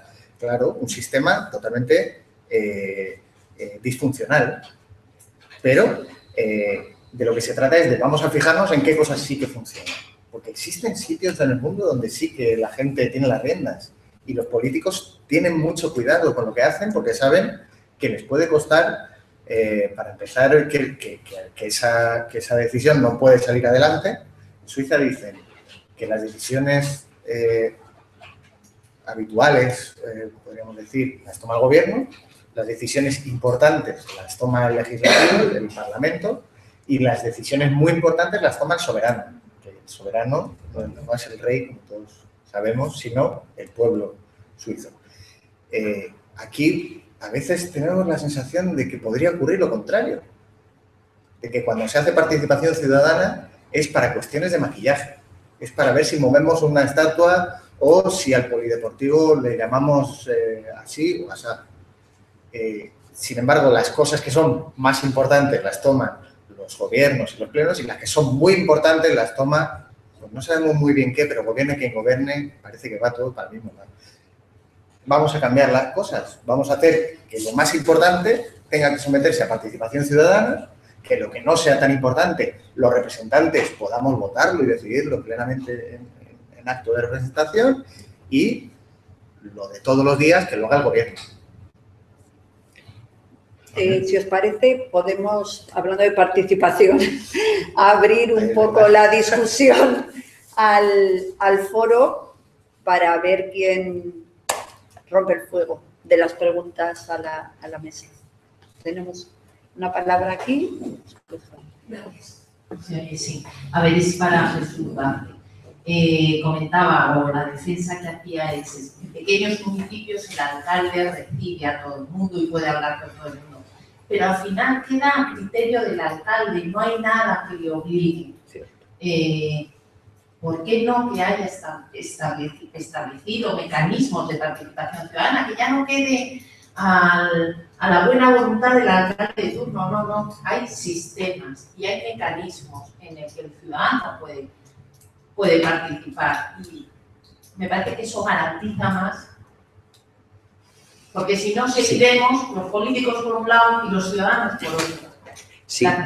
Te doy, todo, te doy toda la razón, pero es más, cuando antes decía que los alcaldes, yo conozco muchos alcaldes que sí juntan a los ciudadanos, porque son pueblos pequeños, en los plenos y asiste evidentemente pues quien quiere ejercer ese derecho.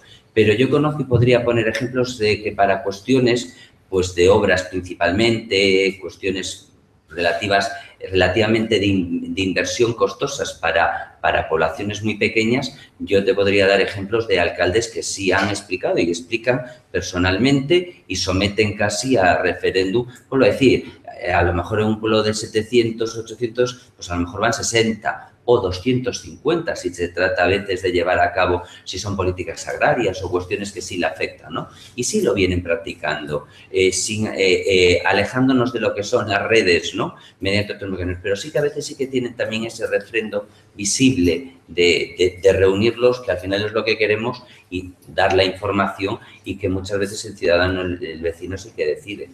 Es a lo que me refería. Una ciudad más grande, yo no me imagino a la alcaldesa de Madrid Claro, es muy difícil, 2.000 personas aquí eh, es complicado y cuanto más grande yo creo que existe incluso más, eh, más desapego, porque creo que cuanto más pequeño es el pueblo, sí que yo creo que el ciudadano tiene más cercano a la decisión, bueno, pues yo decidí sobre esto, ¿no? Porque decide al final sobre esa fuente, sobre ese lavadero, sobre ese asfaltado, sobre esa pista que la tienen que, que volver a cubrir, pues porque la riada se la llevó, ¿no? Entonces, sí, a lo mejor, eh, cuanto más pequeño, sí yo creo que existe esa, esa idea de que probablemente el ciudadano participa bastante más. Y quizás de ahí también la, lealtad a los alcaldes, lealtad en el sentido al voto, al voto, independientemente de las siglas políticas, porque en Galicia hay pueblos que tienen uno u otro y llevan 20, 30 o 40 años, pero al final tienen todo un porqué. Yo creo que también cuando la gente pues, nos castiga, es también porque hay un porqué. ¿no?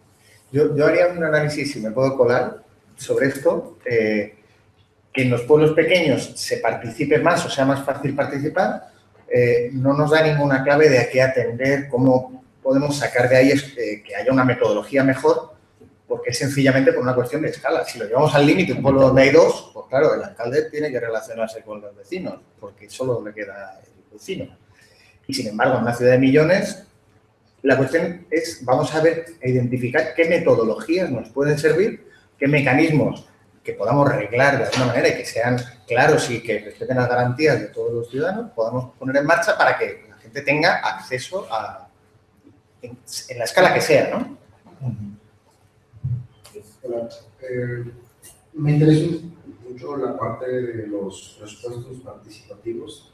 Creo entender, no, no, no estoy muy familiarizado pero son presupuestos que van dirigidos directamente a zonas muy concretas ¿no? de, de, la municipalidad. ¿sí?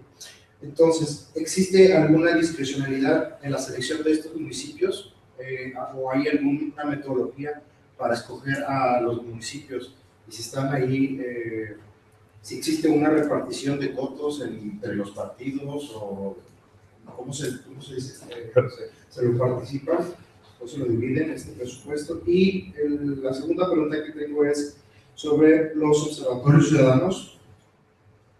Voy a hacer la pregunta que hice en la plática pasada, que es cuánto cuesta, cómo, cómo está ahí, y cuánto nos cuesta la participación ciudadana.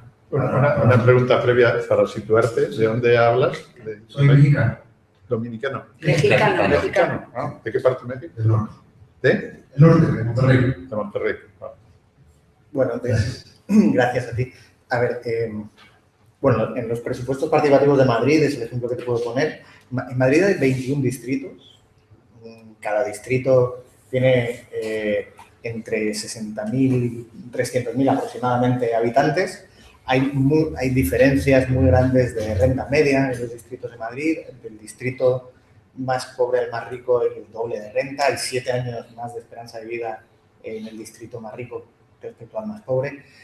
Las diferencias tanto de cantidad de población como de, eh, cómo es la, vida, la renta media, el paro en, los distritos, es muy distinta. Entonces, no podemos dar lo mismo a cada distrito, porque si no, en un distrito, además de ser ricos y ser pocos, van a tener mucho más dinero público para, para decidir. ¿no? Entonces, hay una fórmula que es que es directamente proporcional a la población del distrito e inversamente proporcional a la renta media per cápita. Entonces, de ahí sale un reparto que hace que en cada distrito se invierta entre 8 y 14 euros aproximadamente, 8 y 12 euros por habitante en esta convocatoria. Entonces, a partir de ahí, ese sujeto político un poco artificial, es decir, porque en Madrid no hay una narrativa de distritos, mucha gente ni sabe en qué distrito vive. ¿Por qué? Pues porque son espacios administrativos, la gente sabe que es de Madrid y sabe que es de su barrio, pero no existe una conciencia de sujeto como cuál es mi distrito.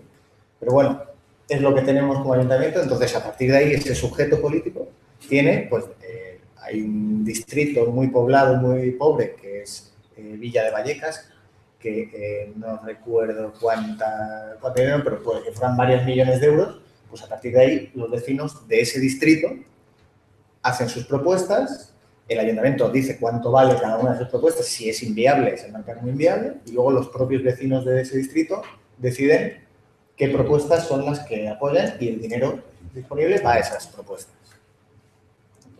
Luego hay otra bolsa, por matizar, que es para toda la ciudad. Hay proyectos que no, que no están en, enclavados en un sitio, que es a lo mejor cambiar todas las marquesinas de toda la ciudad o hacer un carril bici que atraviese de norte a sur o hacer algo a lo mejor en el Retiro, que es un parque tremendo, muy grande, que todo el mundo en Madrid siente que el Retiro es suyo. Hay una bolsa y el sujeto político ahí es toda la ciudad. Todos los habitantes de la ciudad proponen y todos votan. Hay un matiz en Sevilla empezamos con seis distritos y al cabo de cuatro años éramos 21 distritos. Bueno, no distritos, eran unidades dentro de los distritos. ¿Por qué? Porque la gente, lo que nos interesaba no era cuánta gente, sino cómo se podían juntar. Y cuando ya una asamblea empezaba a tener 200, 300, 400 personas, era imposible. De, de que la gente hablara, discutiera, se pusiera de acuerdo. Entonces tuvimos que ir segregándolas en más grupos, ¿no? digamos, como digo, a 21. Por ejemplo, el carril bici de Sevilla se votó en 18 y en tres no. Bueno, pero desde el municipio dice, bueno, no se puede dejar a tres barrios sin carril bici. Se planificó el, car el para toda, la, para toda la ciudad. Aquí en Madrid hay 21 distritos. Eh, la propuesta que estamos intentando es que se pase a 40 o 60 unidades territoriales más cercanas a la población. Porque, eh, están más cercanas que el propio municipio, porque si no quedan muy lejos, obviamente, y porque además puede haber grupos de gente que se muevan justamente a esa, a esa escala. ¿no? Es decir, que nos parece que el principio de descentralización inicial que ha hecho Madrid está muy bien, pero a su vez cada distrito tendría que hacer su propio proceso de descentralización para estar más cerca todavía, distritos de 200.000 o de 300.000 habitantes, pues obviamente siguen necesitando una, descentralización. Y la otra cuestión de los observatorios, ¿cuánto cuestan? Eh, que yo conozca hay, por simplificar, tres modelos diferentes de observatorios. Unos no cuestan nada, simplemente porque son observatorios que se han creado dentro de la sociedad civil eh, sin vinculación in, in, inicial con el ayuntamiento. Por ejemplo, aquí en Madrid está eh, el Observatorio del Transporte, que, que se llama Transporte Sustentable o algo así, eh, que, es autónomo del ayuntamiento. Pero eso no quita que tenga una buena relación con el ayuntamiento, el ayuntamiento escucha cuáles son sus propuestas y eh, al no estar financiado por el ayuntamiento tiene la ventaja de la independencia de, su propio funcionamiento. Eh, hay otros sistemas, por ejemplo, eh, ha habido también con el PP aquí un observatorio de eh, la inclusión o la exclusión, no sé cómo se llamaba exactamente, pero vamos, para sectores excluidos, que era SEMI, era SEMI. Lo llevaban desde la Universidad Autónoma de Madrid, básicamente, había unos grupos, y eh, aconsejaba, hacía informes, etcétera, ¿no? Pero el peso fundamental era de la universidad, ¿no? Eso no quiere decir que en algún momento, para algún estudio, recibiera alguna ayuda, etcétera. Y hay otros observatorios que son internos al propio ayuntamiento. El ayuntamiento, no sé, esta tarde creo que es, ahora Madrid se reúne, eh, yo no voy a ir, pero sé que se reúne para ver cómo hace una especie de observatorio de participación eh, eh, dentro de, Ahora Madrid. Obviamente, si se hace dentro de Madrid, dentro de, pues tendrá que ser interno tal. Mm, Particularmente mi opinión, mi opinión es que debe ser semi-externo o externo, porque si no, la crítica al propio organismo, pues eh, es más difícil si es, si es solamente interna, está integrado dentro de. Es decir, igual que le pedimos a los jueces que sean relativamente independientes, ¿no? Aunque estén con el patrimonio digamos, pagados por el Estado, pero igual estos observatorios deberían tener una cierta independencia del partido o los partidos que gobiernan. Había una pregunta por aquí. Hola, buenas tardes. Esta mañana nos ha dado el profesor a, un modelo en el cual el, el gobierno insistía que no debería desaparecer y al final no era más que, bueno, pues era el que ejercía el liderazgo para poner a todos los, los eh, stakeholders de comunicación, etc. Pero no deja de ser una participación de alguna forma paternalista. Yo creo que eh, la democracia representativa hoy por hoy es absolutamente ya un fraude que las nuevas generaciones no creen.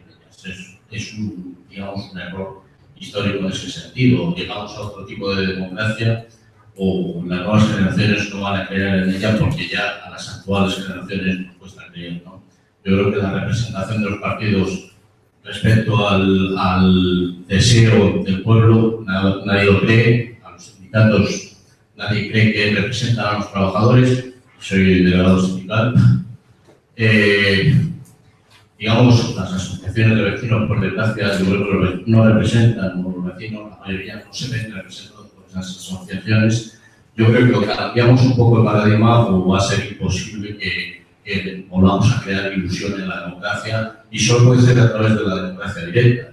Yo el otro día vi hoy a Pablo Soto en una reunión con las ciudades de, Sudamérica que, digamos, el proyecto actual era simplemente el inicio de algo que podía llegar hacia un proyecto, prácticamente de absorber la mayoría de ese presupuesto de Madrid, ¿no? Creo que o llegamos a esa democracia o las nuevas generaciones no van a creer una democracia actual.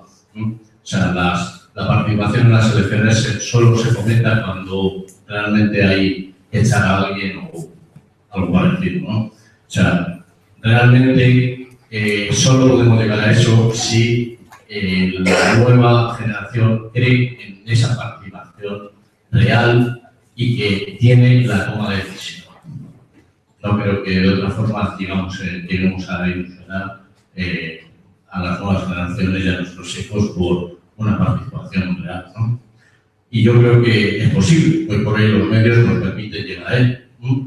Al principio costará, hoy por hoy el, el proyecto del ayuntamiento son 60 millones, no es mucho respecto al total del presupuesto, pero sí respecto a las inversiones, es más o menos un 20%, y es lo que queda para el balance, eh, al fin y al cabo, pero si al final se convence de que eso va a ser solo la semilla de algo que va a asumir la soberanía del pueblo eh, y del ciudadano, el control, dará un poco igual al final la ideología de quien gobierna, ¿no? Que al final realmente el ciudadano pensará que quien está ahí tiene un papel simplemente de moderador, simplemente de llevar a la práctica la voluntad popular, ¿no?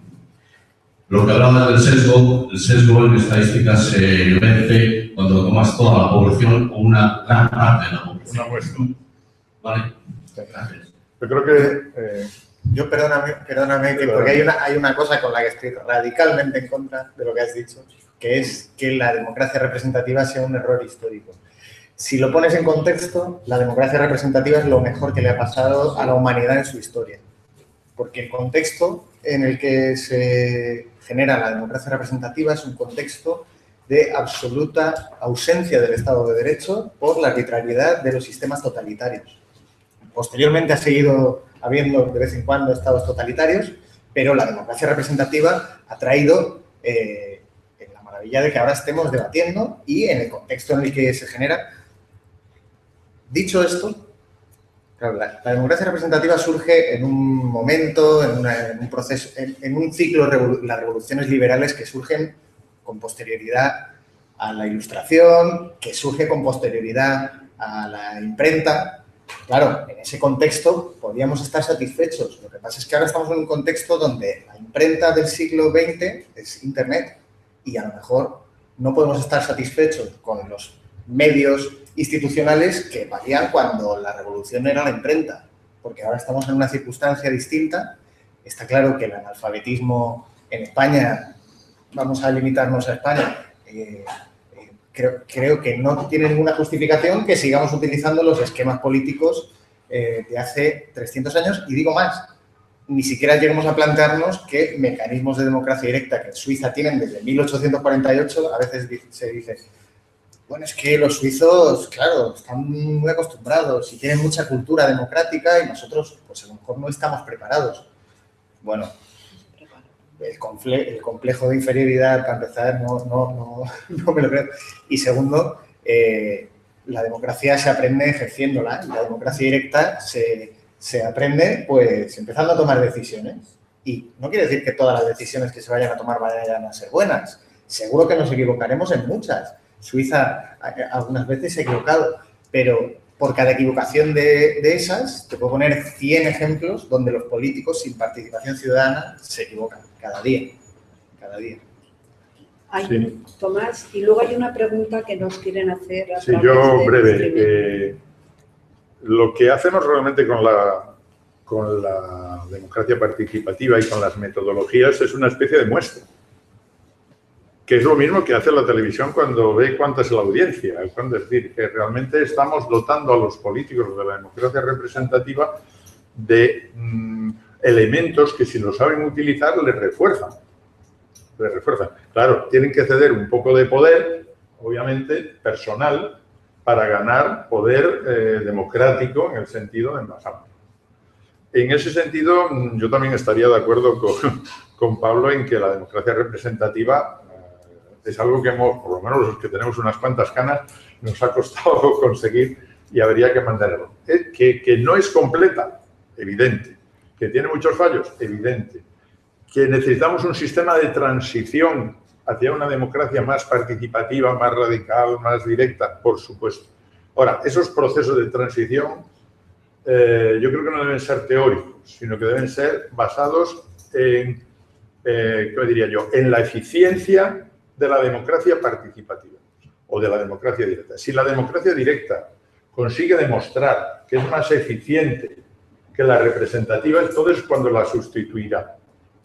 Si no lo hacemos en la práctica, solamente por tener derecho a o porque aparezca un reglamento, no va a sustituir a la democracia Pero representativa. ¿y si, ¿y si llevamos 100 años y ya se ha demostrado? ¿Y si ya se sabe cientos de estudios sociológicos, cientos? Porque además hay estados de Alemania donde tienen democracia directa y estados donde no, Bien. totalmente comparables, 7% menos de deuda, 40% menos de leyes que infringen los derechos de las minorías. Sí, ¿Y si ya está demostrado? Eh, nos encontramos con barreras ver. que son... eh, Minuto. El problema no es que los sociólogos lo demostremos, el problema es que la gente lo vea. Es decir, que el 20, 30, 40, 50% de la gente diga, yo, en Suiza, en Alemania, en España, en, en Ecuador o en Colombia, Yo veo que hay un camino claro para que mi propuesta, sin meterme por la línea de los partidos y de las elecciones, va a tener eficacia, va a ser eficiente. Cuando ese 20, 30, 40% de la gente confíe más en eso que en ir a votar, seguirá votando, pero confiará más en esto. Como me decía una señora en Portalegre, yo no me meto en política, yo solamente decido sobre el presupuesto de Portalegre.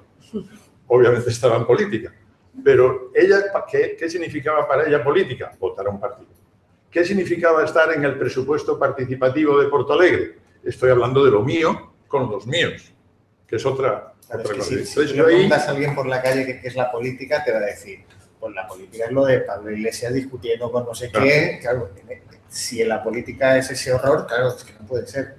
Es esto es lo que no, lo que Claro. no puede ser. La política es otra es, es debatir y discutir y, y decidir en común sobre lo común.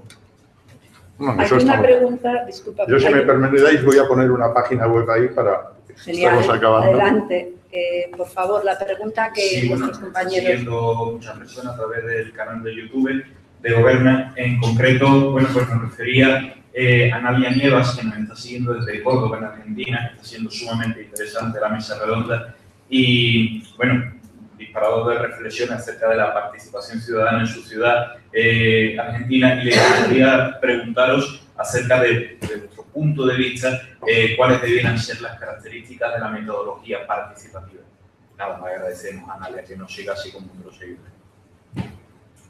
Bueno, yo mi, punto de vista particular es que hay, hay una, hay una clave porque hay muchas metodologías, eh, el profesor puede explicaros 20 o 30 seguro, eh, pero yo hay una clave que he identificado sobre eh, cómo detectar si una mm, metodología participativa tiene capacidad verdaderamente transformadora o puede que sea un elemento cosmético de legitimación de una decisión previa, que es detectar si en ese proceso participativo se pueden producir decisiones en contra del criterio del gobierno. Si eso se cumple y además esas decisiones eh, se llevan a cabo, eh, eso es un síntoma de que, esa, de que esa metodología tiene esa capacidad de, de ser genuina, de ser auténtica y no es lo otro, ¿no? No es, bueno, vamos a convocar, vamos a no sé qué, pero luego en realidad ya sabemos lo que veníamos a hacer. Sí, yo, solo un segundito. Eh, vamos a ver, yo creo que para que haya una metodo- metodología, como bien has dicho, Pablo, hay, hay muchos y el profesor lo podría explicar, que si nos lo podría decir, pero creo que habría que dar con esa metodología que asumieran ambas partes el resultado. ¿eh? Decir, no que sea vinculante, sino que se asuma porque lo ves como un proceso natural y que al mismo tiempo sea rápido y que sea eficiente. Es decir, eh, que no lleve a procesos alargados o a procesos incluso que cuando ya está la respuesta, el problema ya no está o ya es otro distinto y habría que volver a reorientar ese proceso todavía, que creo que es uno de los grandes problemas que tenemos hoy en día eh, en ese sentido, ¿no? De, no encontrar pro- procesos participativos que realmente sean, sean rápidos, ¿no? Porque al final la política mm, lo estamos derivando a la participación. La política es la gestión de los problemas, de, de los conflictos existentes y la resolución de lo mismo. La participación tiene que ser un instrumento que te lleve a que ese resultado sea el óptimo o debiera de ser el óptimo basado en el apoyo, en la aportación, en el conocimiento de todos y no en lo que decida una única señora o un único señor o un único técnico. ¿no? Yo creo que ahí ese es el problema. ¿Qué metodología nos puede dar respuesta y que le da respuesta a la sociedad? Porque si llevas a cabo una metodología que al ciudadano da pie lo cansa todavía más o que llega a decir otra reunión para no llegar a un punto de encuentro o otro tiempo. Es lo que ha pasado con este breve proceso de la democracia que parece que a veces el ir a votar es para qué. Bueno, lo primero es que nosotros teníamos un curso de 600 horas de metodología, por lo tanto, en un minuto es imposible resumir. Yo remito a la página que no sé si se alcanza a ver allí de la red CIMAS y en todo caso hemos sacado un libro en la editorial Destra que se llama así, Metodologías Participativas de la red CIMAS, para el que lo quiera, para aportar algo de bibliografía. ¿no? Y de luego, en- era de Argentina, Sí, de Córdoba. eh, Córdoba, eh, en el mes de noviembre, el día 13 y 14 de, perdón, de octubre, en la ciudad de Mendoza hacemos una reunión de metodologías participativas de toda Argentina. Y con mucho gusto la gente de Córdoba, de, de cualquier parte de Argentina, podemos estar allí. Estamos haciendo una gira porque hay un Congreso Mundial de Metodologías Participativas en el 17 y vamos a hacerlo en Uruguay, en Argentina, en Chile, en Ecuador, en Colombia, aparte del que acabamos de hacer aquí en España eh, el mes pasado. ¿no? Entonces, bueno, es mundial, hay australianos, norteamericanos, en fin, de, de todas esas cosas, pero para la gente de Argentina, si tiene interés, ahí puede entrar a debatir, no solamente a leer eh, libros. Y por supuesto que hay muchísimas metodologías que han nacido a raíz sobre todo del concepto de planificación participativa. Planificación participativa es más que presupuestos participativos, es más que técnicas de reglamentos o de un plan de barrio o de esas otras cosas. Y yo creo que se está construyendo a nivel mundial bastantes consensos y bastantes herramientas que efectivamente, como decía antes Pablo Soto, están demostradas para unas minorías que las conocemos, pero que quizás no son conocidas o no son todavía, no han mostrado su eficiencia y su eficacia a nivel de gran población. Es un tiempo, necesitamos tiempo, es decir, eso es verdad, pero la generación, como decía uno de los nuestros interlocutores, esta generación, que corresponde con la de mis hijos, más o menos de 30 a 45 años, como ya no se cree lo sustancial del anterior, en eso sí estoy de acuerdo, eh, son los que están impulsando estas nuevas cosas. En el reciente congreso, simposio que hemos tenido, eh, a los más mayores ya nos han dicho, ustedes apártense, en la conferencia inaugural y adiós. Nosotros vamos a llevar estas nuevas metodologías. Y gracias a que lo han llevado con nuevas metodologías, si nosotros reuníamos a 40 o 50 personas, ellos han reunido a 400 o 500 personas, numéricamente, pero ya no solamente por el número de personas, sino por el ambiente de creatividad colectiva que se generó o que se genera cuando se utiliza esto. Yo creo que incluso hasta sectores importantes de las empresas, tú que eres eh, profesor de organización de empresas, esto lo, lo intentan hacer. Es decir, en la, en la, Volvo o en la Toyota han intentado meterse mecanismos participativos para que la gente produzca más. Es decir, no sé por qué los políticos le tienen miedo a meter estos mecanismos que son realmente eficaces. Hombre, lo que falta es un poco generalizarlos, documentarlos, pero bueno, ahí está el trabajo entre todos. Yo, yo te respondo a eso. ¿Por qué tienen los políticos miedo a introducir estos mecanismos? Porque al único al que le quitan el poder es al político. Por eso. Pero yo el no único creo- que tiene que perder Yo no es el creo que político, no, no, yo no lo creo, porque estaríamos hablando en contra de lo que es realmente un trabajo que desde luego no tiene eh, nada malo, quiero decir. El decir que el adoptar un gobierno participativo te quita la decisión, no. Si al final yo creo que lo que te hace es enriquecer y basar tus opiniones muchos- o tus decisiones, que es al final lo que nos gustaría a todos. Pero que a ti como hay- concejal y yo como alcalde me gustaría que siempre adoptara las decisiones que fuesen las correctas y las avaladas. Mejor Y avaladas no, no, no, lo, no lo personalizan No, que pero- seguro que no es el caso, sino que hay multitud de ejemplos en la historia donde políticos abogan por mecanismos concretos de participación y cuando llegan al gobierno votan en contra. Pero, Pero porque existe décadas, ¿eh? desconfianza sobre la metodología y sobre el propio proceso. Claro, hoy podemos estar hablando de participación, pero si la participación al final yo ya la desvirtúo desde el principio, te lleva a no creer tú mismo en, el, en la cuestión y en la validez del propio proceso. Pues como cuando eres profesor y haces un examen y cambias la metodología y dices, chicos, apartar ese examen, apartar ese papel y apartar ese folio, que lo vamos a hacer de otra forma. Y ves que se te escapa de las manos, ¿no? Y al final dices, Esto está medido. Una, una radical mayoría de la ciudadanía está a favor de referéndum vinculantes. Una radical mayoría de los políticos están en Fíjate, contra de los referéndums vinculantes. se- Una, una inmensa mayoría y sin embargo cuando se debate algo tan importante como el Estatuto de Cataluña, ¿qué porcentaje de abstención hubo? Y debería de ser un elemento muy importante, enorme la abstención. Primero yo creo que también el ciudadano, y nosotros somos ciudadanos, a pesar de que cada uno ocupamos algo, también somos ciudadanos de a pie, que también nos afecta ese hacer a mal o, o ese proceso o ese IBI, o, nos afecta también las decisiones, ¿no? Entonces yo creo que al final tenemos que, que dar seguridad a lo que es el procedimiento, a esa metodología. Y en el momento en que tú confíes y que no la desvirtuemos, Pues porque si yo lo veo desde mi óptica, digo, bueno, me juntan una reunión, pero veo que son 20 plataformas donde solo hay 5 personas. O sea, ya no hay ni esta persona por plataforma. ¿Vale? Parece como que ya empiezas con mal pie. Yo creo que eso es todo lo que hay que cambiar y hacer sistemas reales de participación. ciudadana. Muy bien, yo creo que no ha podido ser más interesante el debate. Quiero agradecerles tanto a Pablo como a Jesús, como al Tomás, el profesor Villasante, su participación en esta mesa, su generosidad en el tiempo que nos han dedicado y despedir a nuestros compañeros y darles gracias a ustedes por la paciencia. Nos estamos viendo mañana a las 10 de la mañana. Muchas gracias a todos.